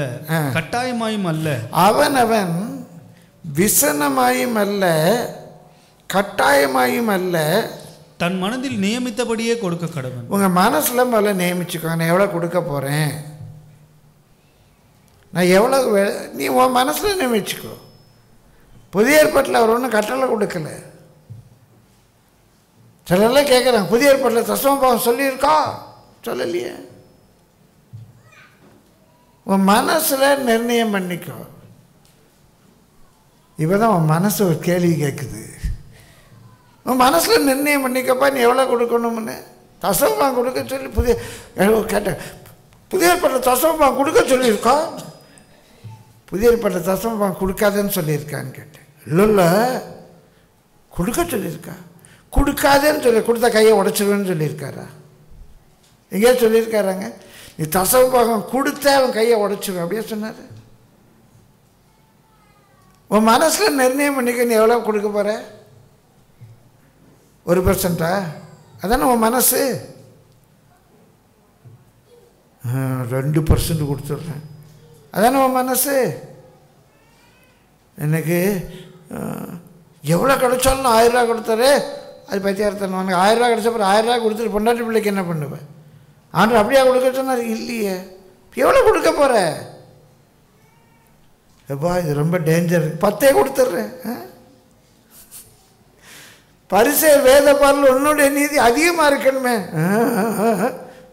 நீ யோசிக்க நீ எவ்வளோ நிர்ணயம் பண்ண போகிற சிம்பிள்ங்க இதெல்லாம் புதிய ஏற்பாட்டில் இருக்கா இல்லையா ஆர்கியூம் பண்ணுறாங்க எதை ஒன்று கொடுக்கணும்னு தெரியுதுல்ல எவ்வளோ கொடுக்க போகிற அது உன் மனசு உன் மனசில் நிர்ணயம் பண்ணிக்க அவ்வளோ சிம்பிள் ஆண்டவர் பார்த்துக்கிட்டே இருக்கார் அன்றைக்கு சிஸ்டர் என்கிட்ட கேட்டாங்க ஃபஸ்ட்டு அந்த அந்த ஸ்ரீ ரெண்டு நம்ம சபையில் வெளியே அவர் ரெண்டு துட்டு போட்டவளை கட்டுறது ஆசீர்வதிச்சார் ஏம்மா நீ சரியாக பாரு அவள் ஹண்ட்ரட் பர்சன்ட் கொடுத்தா அவள் டென் பர்சன்ட் இல்லை டுவெண்ட்டி பர்சன்ட் இல்லை அவள் எவ்வளோ கொடுத்தா தனக்குண்டான எல்லாவற்றையும் கொடுத்தா ஹண்ட்ரட் பர்சன்ட் அது நீ ஹண்ட்ரட் பர்சன்ட் கொடுத்துட்டு வெறுங்கையா போனான்ற சொல்லலை அழகாக இருக்குது பாருங்கள் கட்டாயத்தினாலும் அல்ல விசனத்தினாலும் அல்ல புதிய ஏற்பாட்டில் உங்களுக்கு ஃப்ரீடம் இருக்குது புதிய ஏற்பாட்டில் உங்களுக்கு ஃப்ரீடம் இருக்குது மனசில் நிர்ணயம் பண்ணிக்கோங்க எவ்வளோ கொடுக்க போகிறீங்கன்னு உங்களுக்கு அவுட் ஆஃப் யுவர் ப்ராஸ்பெக்ட் இந்த வசம் பேர் காட்டி உங்களுக்கு கிடைக்கிறதுல ஒரு பகுதி கொடுக்க போகிறீங்க உங்களுக்கு ஞான நன்மையை விதைக்கிறவர்களுக்கு நீங்கள் சர்வ நன்மையை கொடுக்க போகிறீங்க இந்த இடத்தெல்லாம் சுத்தம் பண்ணி உங்களுக்கு நாற்காலியெல்லாம் போட்டு உங்களுக்கு பிஎஸ் சிஸ்டம் வச்சு கால் கடுக்க நின்று இந்த வீடியோலாம் எடுத்துக்கிட்டு இருக்கிறாங்க இந்த பிள்ளைங்க உட்காந்து ராத்திரிலாம் வசனத்தை ப்ரிப்பேர் பண்ணி நின்று கால் கிடக்க ஒருத்த கத்திக்கிட்டு இருக்கிறான் உங்களுக்கு ஞான நன்மையை விதைக்கிறவர்களுக்கு அவங்க சரீர நன்மைக்கு இங்கே பணி செய்கிறவர்களுக்கு ஒரு அஞ்சாறு குடும்பங்கள் ஊழியத்தில் உதவியாக இருக்கிற மூன்று நான்கு குடும்பங்கள் எதை நீங்கள் செய்ய போகிறீங்க உங்கள் மனசில் நிர்ணயம் பண்ணிக்க அதான் நீங்கள் ஒரு பர்சன்ட் கொடுத்துட்டு போகலான்னு நினச்சா தான் நீங்கள் குறைந்தபட்சம் ஒரு டென் பர்சன்டாவது நான் கொடுத்துட்றேன்னு நினச்சா தான் நீங்கள் இல்லை இல்லை நான் பரிசை வேத பாடல் என் அதிகமாக இருக்கணும் நான் டுவெண்ட்டி பர்சன்ட் கொடுக்க போகிறேன் அப்படின்னு நினச்சா அதான் நீங்கள் அதான் நீங்கள் ஆர்டர் பார்த்துக்கிட்டு இருக்காரு எத்தனை பர்சன்ட் கொடுக்குறேன்னு பிரியமானவில் நான் இந்த ஹோட்டலில் சாப்பிட்டுட்டு இன்னொரு ஹோட்டலில் போய் பில் கட்டுவேன் அதான் நீங்கள் அதான் உங்கள் எண்ணம் நான் சாப்பிட்றது ஒரு ஹோட்டலில் நான் பில் கட்டுறது இன்னொரு ஹோட்டலில் நீங்கள் என்ன செய்கிறீங்களோ அதான் உங்களுடைய எண்ணத்தை நீங்கள் யார் என்பதை பிரதிபலிக்கிறது கட்டாயத்தினாலும் அல்ல விசனத்தினாலும் அல்ல தசம் வாங்கக்கூடன்னு புதிய ஏற்பாட்டில் எங்கேயும் கட்டளையாக இல்லை ஆனால் நமக்கு அறிவை கொடுத்துருக்காரு கொடுக்காதன்னு அவர் சொல்லலை உன் மனதில் நிர்ணயம் பண்ணி என்ன செய்ய போகிற பிரியமானவர் கட்டாயத்தினாலும் அல்ல விசனத்தினாலும் அல்ல உற்சாகமாய் மனதில் நியமித்தபடியே கொடுக்க கடவன் உற்சாகமாய் கொடுக்கிற இடத்தில் தேவன் பிரியமாக இருக்கு நீ கொடுக்கும்போது ஒன்றே ஒன்று பார்த்துக்க உற்சாகமாக கொடு ஒரு பர்சன்ட் கொடுத்தாலும் சரி அதான் நீ ஆபராம் தாத்தா அவர் பத்து பர்சன்ட் கொடுத்தாரு யாக்கோபு அவர் பத்து பர்சன்ட் கொடுத்தாரு யோசேப்பு அவர் டுவெண்ட்டி பர்சன்ட்டு ஐந்தில் ஒன்று டுவெண்ட்டி பர்சன்ட்டு அப்புறம் மோச காலத்தில் தேவன் சொன்னார்னு டென் பர்சன்ட் வந்தது ஏசு சொல்லி போட்டார் வேத பாருங்கள் உங்களுடைய நீதி அதிகமாக இருக்கணும்னு வேறு சொல்லி போட்டார் நீங்கள் யோசித்துக்கோங்க இந்த நாள் மட்டுமாக இந்த விதைப்பை நான் பின்பற்றுகிறேன் இந்த நாள் மட்டுமாக நாம் விதைக்க விரும்புகிற விதை நிலங்களை தேடி தேடி விதைக்கிறேன் நாங்கள் அப்படி பழகிட்டோம் தேவ நாம மகிமைக்காக சொல்லுகிறேன் நாங்கள் ஊழியம் செய்தாலும் நான் அடுத்த அம்மாவாக எங்களுக்கு கிடைக்கிற ஆசீர்வாதங்களை இந்த வரைக்கும் விதைக்கிறோம் விதைச்சா தாங்க அறுக்க முடியும் விதையை சாப்பிட்டா நம்ம அறுக்க முடியாது அப்போ அதை செய்கிறத உற்சாகமாக செய்யுங்க இந்த உலகத்தோடு நான் இணைக்கிறேன்னு நினைக்காதீங்க நல்ல விவசாயிகிட்ட போய் கேட்டு பாருங்கள் இந்த மண்ணுங்க இந்த பூமிங்க கா பாரத்தோடு கண்ணீரோடு விதைக்கிறான் அதனால் சொல்கிறாங்க எனக்கு எவ்வளோ உண்மைன்னு தெரில அந்த செடி வளரும்போது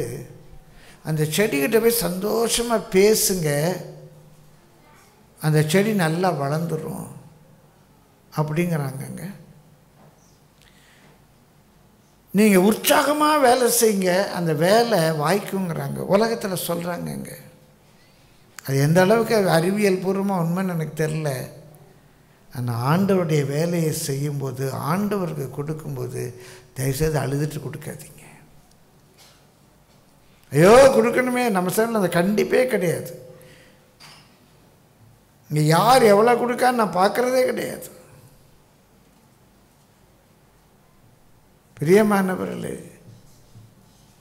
தசம பாகத்தில் ஒரு பெரிய ஆசீர்வாதம் நாம் பார்த்தது சமநிலை பரமான ஒருத்தன் பத்தாயிரரூபா கொடுத்தான் ஒரு ஒரு லட்சம் கொடுத்தான் இவன் ஆயிரரூபா கொடுத்தாங்கிற வித்தியாசமே கிடையாது இவன் எவ்வளோ கொடுத்தான் பத்தில் ஒன்று கொடுத்தான் அவங்க எவ்வளோ கொடுத்தாங்க பத்தில் ஒன்று கொடுத்தாங்க இவங்க எவ்வளோ கொடுத்தாங்க பத்தில் ஒன்று கொடுத்தாங்க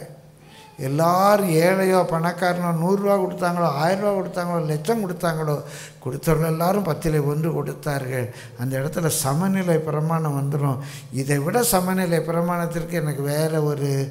கணக்கு தெரியலைங்க உங்கள் ஆசீர்வாதத்துக்காக சொல்கிறேன் பிரியமல்லக்கத்துடைய பரிசுத்த நாமத்துக்கு மயிமை செய்கிறத உற்சாகமாக செய்யுங்க அவ்வளோ தேவன் பிரியமாக இருக்கா பத்தாம் வசனம் வாசிங்க விதைக்கிறவனுக்கு விதையையும் புசிக்கிறவனுக்கு ஆகாரத்தையும் அளிக்கிறவர் உங்களுக்கு விதையை அளித்து அதை பெருக பண்ணி உங்கள் நீதியின் விளைச்சலை வர்த்திக்கப்படும் பிரியமான உங்களுக்கு அந்த விதை அந்த விதையை கத்தர் ஆசீர்வதிப்பார் அந்த விதையை கத்தர் ஆசீர்வதித்து பெருகப்ப உங்களுக்கு விதையை தந்திருக்கார் புசிக்கிறதுக்கு ஆகாரமும் தந்திருக்கார் விதைக்கிறதுக்கு விதையை கொடுத்துருக்க எல்லாத்தையும் சாப்பிட்றாதீங்க சாப்பிட்டா விதைக்க முடியாது புசிக்கிறதுக்கு ஆகாரம் தந்திருக்காரு விதையை விதைங்க அந்த விதை எப்படி விதைக்கணும் நீதியின் விளைச்சலில் விதைக்கணும் அதை கல்லில் தூக்கி போட முடியாது முள்ளில் தூக்கி போட முடியாது ஆடி பட்டம் தேடி விதை விதைக்கான பருவத்தில் விதை விதைக்க வேண்டிய நிலத்தில் விதை அந்த விதைக்கு அந்த விவசாயத்துக்குரிய ரூல்ஸ் அண்ட் ரெகுலேஷன்ஸை ஃபாலோ பண்ணு அவர் விதைக்கிறேன் என்று சொன்னால் எங்கே விதைக்கிற இந்த ஹோட்டலில் சாப்பிட்டு இன்னொரு ஹோட்டலில் கொண்டு போய் விதைக்கிறியா பில் கட்டுறியா என்ன ரூலை ஃபாலோ பண்ணுற நீ விதைக்கிற இடம் எப்படிப்பட்ட இடம் கத்தர் காண்பித்த இடமா பிரியமானவர்களே அந்த விதையை மண்ணில் போடுறான் மண்ணில் போடுற விதையே ம பருவம் பலன் தருமையானால் விண்ணிலை போடுகிற விதை பலன் தராமலா போகும் ஆனால் நீதியின்படி அந்த ரூல்ஸ் அண்ட் ரெகுலேஷன்ஸ் அப்படி விதைத்து வருகிற பலனுக்கு பேர் தான் நீதியின் விளைச்சல் நீதியின் விளைச்சலை கருத்த வர்த்திக்க பண்ணுவார் வாசியுங்கள் நீதிமொழிகள் மூன்றாம் அதிகாரம் ஒன்பது பத்து வசனங்கள் உன் பொருளாலும் உன் எல்லா விளைவின் முதற் பலனாலும் கர்த்தரை கனம் பண்ணு இது எதுக்காக நம்ம கொடுக்குறோம் டு ஆண்டவரை கனம் பண்ண விரும்புகிறேன் ஆண்டவரை கனம் பண்ண விரும்புகிறேன் என் முதல் பலனை கத்தரை கொண்டு வார் என் விளைவின் பலன்களால் கர்த்தரை கனம் பண்ணுறேன் அப்படி கனம் பண்ணும்போது அப்பொழுது உன் களஞ்சியங்கள் பூரணமாய் நிரம்பும் ஆலைகளில் திராட்சரசம் புரண்டோடு உன் ஆலைகளில் திராட்சரசம் புரண்டு ஓடும் இன்றைய வரைக்கும் பெரிய மாணவர்களே ஒரு சின்ன குழந்தைத்தனமான புத்தி உண்டுங்க ஆபேல் காயின் ரெண்டு பேரும் பலி செலுத்துகிறாங்க காயின் கொஞ்சம் பழங்களை கொண்டு வரான் ஆபேல் ஆட்டுக்குட்டிகளை கொண்டு வரான் கர்த்தர் காயினுடைய பலி ஏற்றுக்கொள்ள ஆபேலுடைய பலியை ஏற்றுக்கொண்டாராம் ஏன்னா காயின் பழங்களை கொடுத்தானா ஆபேல் மிருகங்களை ரத்தத்தை சிந்துனானா எங்கள் ஆண்டர் பியூர் நான் வெஜிடேரியனா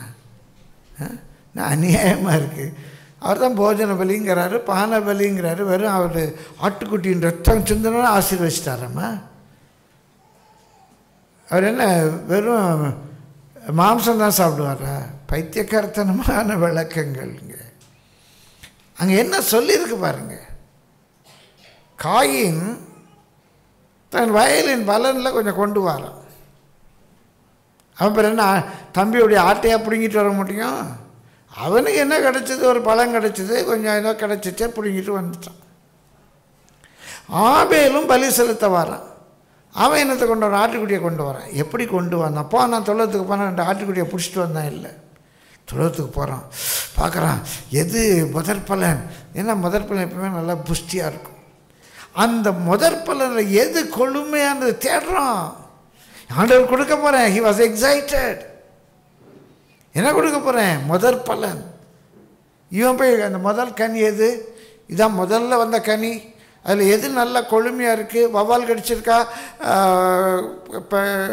காக்கா கொத்தியிருக்கா அதெல்லாம் பார்க்கல அழுகியிருக்கா ஒன்றும் பார்க்கல ஏதோ நல்லா பறிச்சுட்டு வரான் அந்த Abel was excited in is giving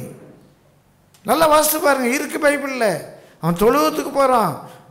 பலனை தேடுறான் அதுலேயும் கொழுமையானதை செலக்ட் பண்ணுறான் செலக்ட் பண்ணி கத்திரத்தில் கொண்டு வர்றான் கத்தர் ஆபேலின் காணிக்கையை அங்கீகரித்தார் காயினுடைய காணிக்கை அவர் அங்கீகரிக்கல கொடுக்கிறது அந்த எக்ஸைட்மெண்ட் வேணும் சின்ன குழந்தைத்தனம்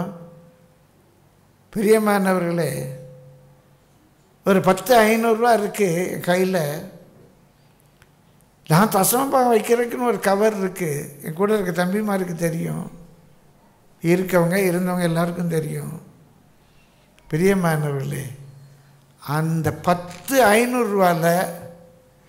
இருக்கிறதில் பெஸ்ட்டு ஐநூறுரூவா எடுத்து தஸ்மா பார்க்க அவருக்கு வைப்பேன் பைத்தியக்காரத்தனம் தான் இந்த சிறுவிளத்தனத்தை ஆண்டவர் பார்க்குறாருன்னு எனக்கு தெரியும் ஆண்டவர் கொடுக்குற நோட்டு அது ஏதோ ஒரு ஊழியக்காரர் கொடுக்க போகிறேன் ஊழியத்தில் கொடுக்க போகிறேன்னா ஆனால் நான் எடுத்து வைக்கிற அந்த நோட்டு ஏனோ தானோன்னு கசங்கின நோட்டாக இருக்கக்கூடாது பிரியமானவர்கள் ஒரு எக்ஸைட்மெண்ட் வாராந்திர காணிக்க போடுறோம் பிள்ளை சனிக்கிழமை பரப்பட ஆரம்பிக்கும்போது சனிக்கிழமை ட்ரெஸ் எல்லாம் எடுத்து வச்சுருவேன் சனிக்கிழமை என்ன ட்ரெஸ் போடணும் எல்லாம் எடுத்து வச்சுருவேன் அப்படி சனிக்கிழமை நான் எடுத்து வைக்கும்போது முதலாவது உங்களை உற்சாகப்படுத்த சொல்ல பெருமைக்கல்ல நான் புறப்பட ஆரம்பிக்கும்போது என்னுடைய காணிக்கையை எடுத்து வைப்பேன் கர்த்தருக்கு செலுத்த வேண்டிய காணிக்கையை முதலாவது எடுத்து வைப்பேன் கர்த்தர் மகிமைப்படுத்தி பாருங்க கனப்படுத்தி பாருங்க ஆரம்ப நாட்களில் வாரம் எண்பது ரூபா காலை ஆராதனைக்கு நாங்கள் நாலு பேர் ஆளுக்கு பத்து ரூபா சாயந்தரம் ஆராதனை ஆளுக்கு பத்து ரூபா கையில் காசுக்கு வராது எனக்கு கிடைக்கிற வருமானத்தில் அங்கே கூட இருந்த ரூஃபஸ் பண்ணவங்களுக்கு தெரியும் அப்போ என் கூட ஆஃபீஸில் இருந்தவங்களுக்கு கிடைக்கிற பத்து ரூபா முதல்ல காணிக்க கவரில் எடுத்து வைப்பேன் முதல் வாரம் எண்பது நிரம்பிச்சுன்னா ரெண்டாவது கவர் அதில் எண்பது மூன்றாவது வாரம் ஐந்து வாரத்துக்கு ஐந்து கவர் வச்சுருப்பேன் ஏன்னா பலி காணிக்க செலுத்த காசு இல்லாமல் போயிடக்கூடாது முதல்ல இருக்கணும் அப்புறம் வீட்டு செலவு மற்ற செலவு எல்லாத்துக்கும் முதல்ல காணிக்கைக்கு எடுத்து வை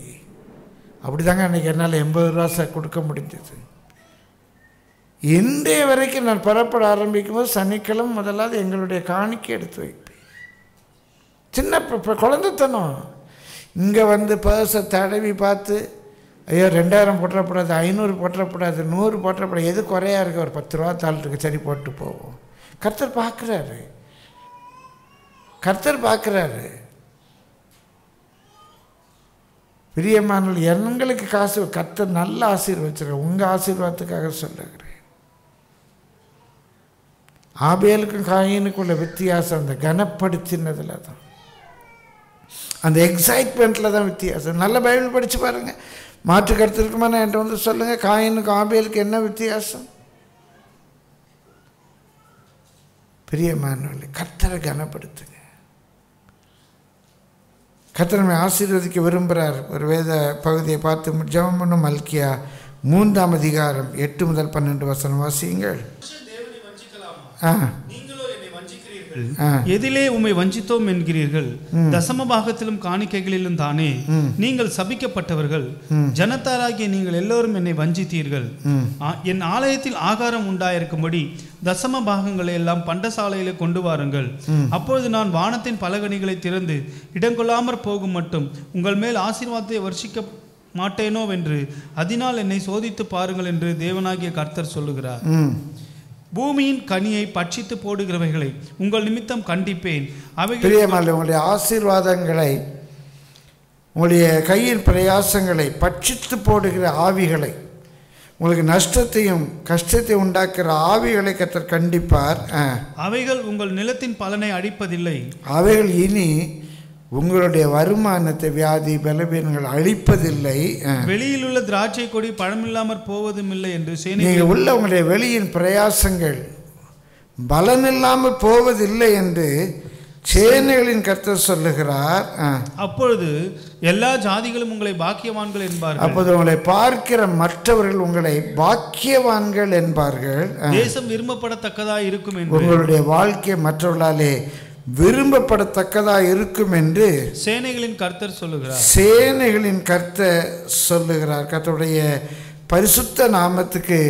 மகிமை உண்டாவதாக நான் அநேக வசனங்கள் உண்டு நேரம் கருதியதில் உங்களுக்காக நான் ஜெபிக்கிறேன் கர்த்தர் நம்மை ஆசீர்வதிக்க விரும்புகிறார் God desires your prosperity God desires your prosperity நம்ம எல்லோரும் யாரும் எனக்கு ரொம்ப கடந்த நாட்களில் வேதனை வந்து கற்று இந்த செய்தியை தந்த யாரும் கடனாளியாக இருக்கக்கூடாது யாரும் கடனாளியாக இருக்கக்கூடாது யாருக்கும் யாரும் கடன் படக்கூடாது சிலர்கிட்ட பேசினா சொல்கிறாங்க ஐம்பதுனாயிரம் அறுபதுனாயிரம் லட்சங்கள் பிரியமானவர்களே இன்றைக்கு தீர்மானம் பண்ணுங்க நீயோ கடன் வாங்காதிருப்பாய் நீயோ கடன் கொடுப்பாய் என்னை ஆசீர்வதித்து ஆசீர்வாதமாக்க எல்லோரும் இருக்கிற இடங்களில் எழும்புவோம் கத்தருடைய முகத்தை நோக்கி பாருங்கள்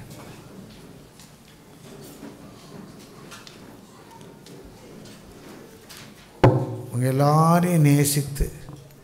இயேசுவின் நாமத்தில் சொல்கிறேன் நீங்கள் எல்லாரும் நீ எல்லாரும் கிறிஸ்துவுக்குள்ளாக சீமானாய் சீமாட்டிகளாய் இருக்க வேண்டும் இங்கே இருக்கிற you should be great simply great personalities simply great personalities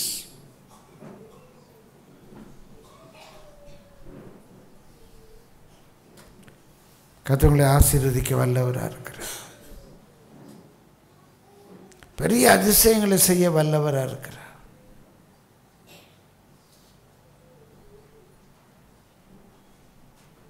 பெரிய அதிசயங்களை செய்ய வல்லவராக இருக்கிறார்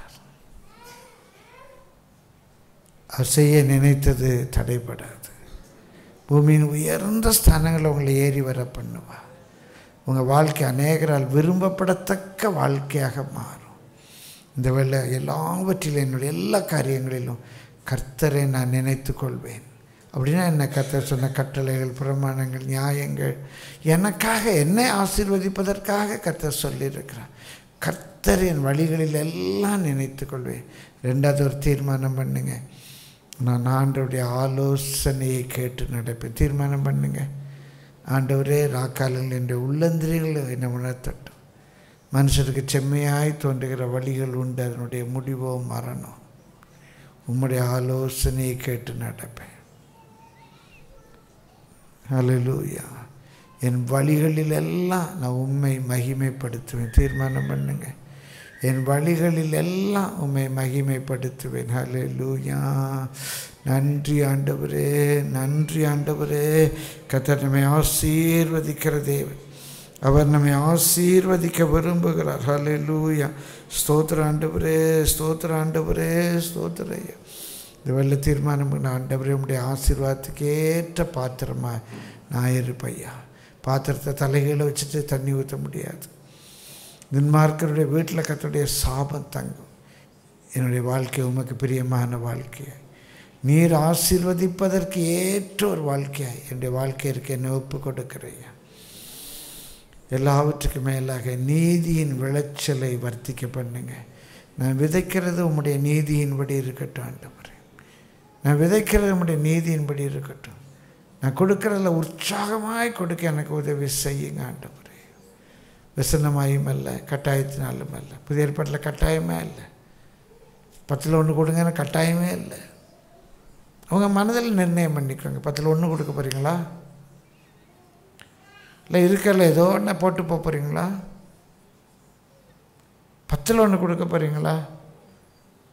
இல்லை என் நீதி அது அதில் அதிகமாக இருக்கணும்னு பத்தில் ரெண்டு கொடுக்க போகிறீங்களா நீங்கள் தீர்மானம் பண்ணிக்கோங்க உங்களுக்கு உண்டான அங்கே சொல்லுவார் உங்களுக்கு உண்டானவைகளிலிருந்து எடுத்து உங்களுக்கு வர்ற வரவிலிருந்து எடுத்து proportion to what you get உங்களுக்கு எவ்வளோ கிடைக்கும் அந்த வரவுக்கு தக்கதாக அதிக கொடுத்து குறைந்து போவதும் இல்லை கொஞ்சம் கொடுக்கறதுனால குறைவதும் இல்லை கத்தர் பார்க்குறார் ஊரீஷன் அதீனமாக அப்பா நான் உங்களுக்காக ஜபிக்கிறேன் எங்கள் ஜீவன் இறக்கமுள்ள தெய்வாதிபதி மனதார அடிமையுடைய ஆசீர்வாதங்களை பிள்ளைகள் மேல் கூறி ஜெபிக்கிறேன்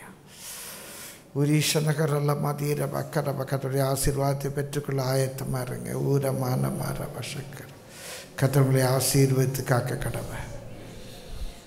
கத்தவங்களை ஆசீர்வத்து காக்க கடமை கத்த தம்முடைய முகத்தை உங்கள் மேல் பிரகாசிக்க பண்ணி உங்கள் மேல் கிருபையாக இருக்க கடவை நகர சனகரலகதீன மக்கர பதீரவா கத்த தம்முடைய திருமுகத்தை உங்கள் மேல் பிரசன்னமாக்கி உங்களுக்கு சமாதானம் வளமான வாழ்வு ஷாலோ கட்டளையிட கடவை எல்லாரும் நல்லா ஆமேன்னு சொல்லுங்க உற்சாகமாக ஆமேன்னு சொல்லுங்க கரங்களை தட்டி ஆமேன்னு சொல்லுங்க அது அப்படியே ஆக கடவுது அப்படியே ஆக கடவுது அப்படியே ஆக கடவுது ஆமேன் ஆமேன் ஆமேன் ஆமேன் தேவ சமாதானம் உங்களோடு கூட இருப்பதாக கத்தோடைய ஆவி உங்களுடைய ஆவியோடு கூட இருப்பதாக ஆமேன் சலோம் அலைக்கும் God bless you all. God be with you.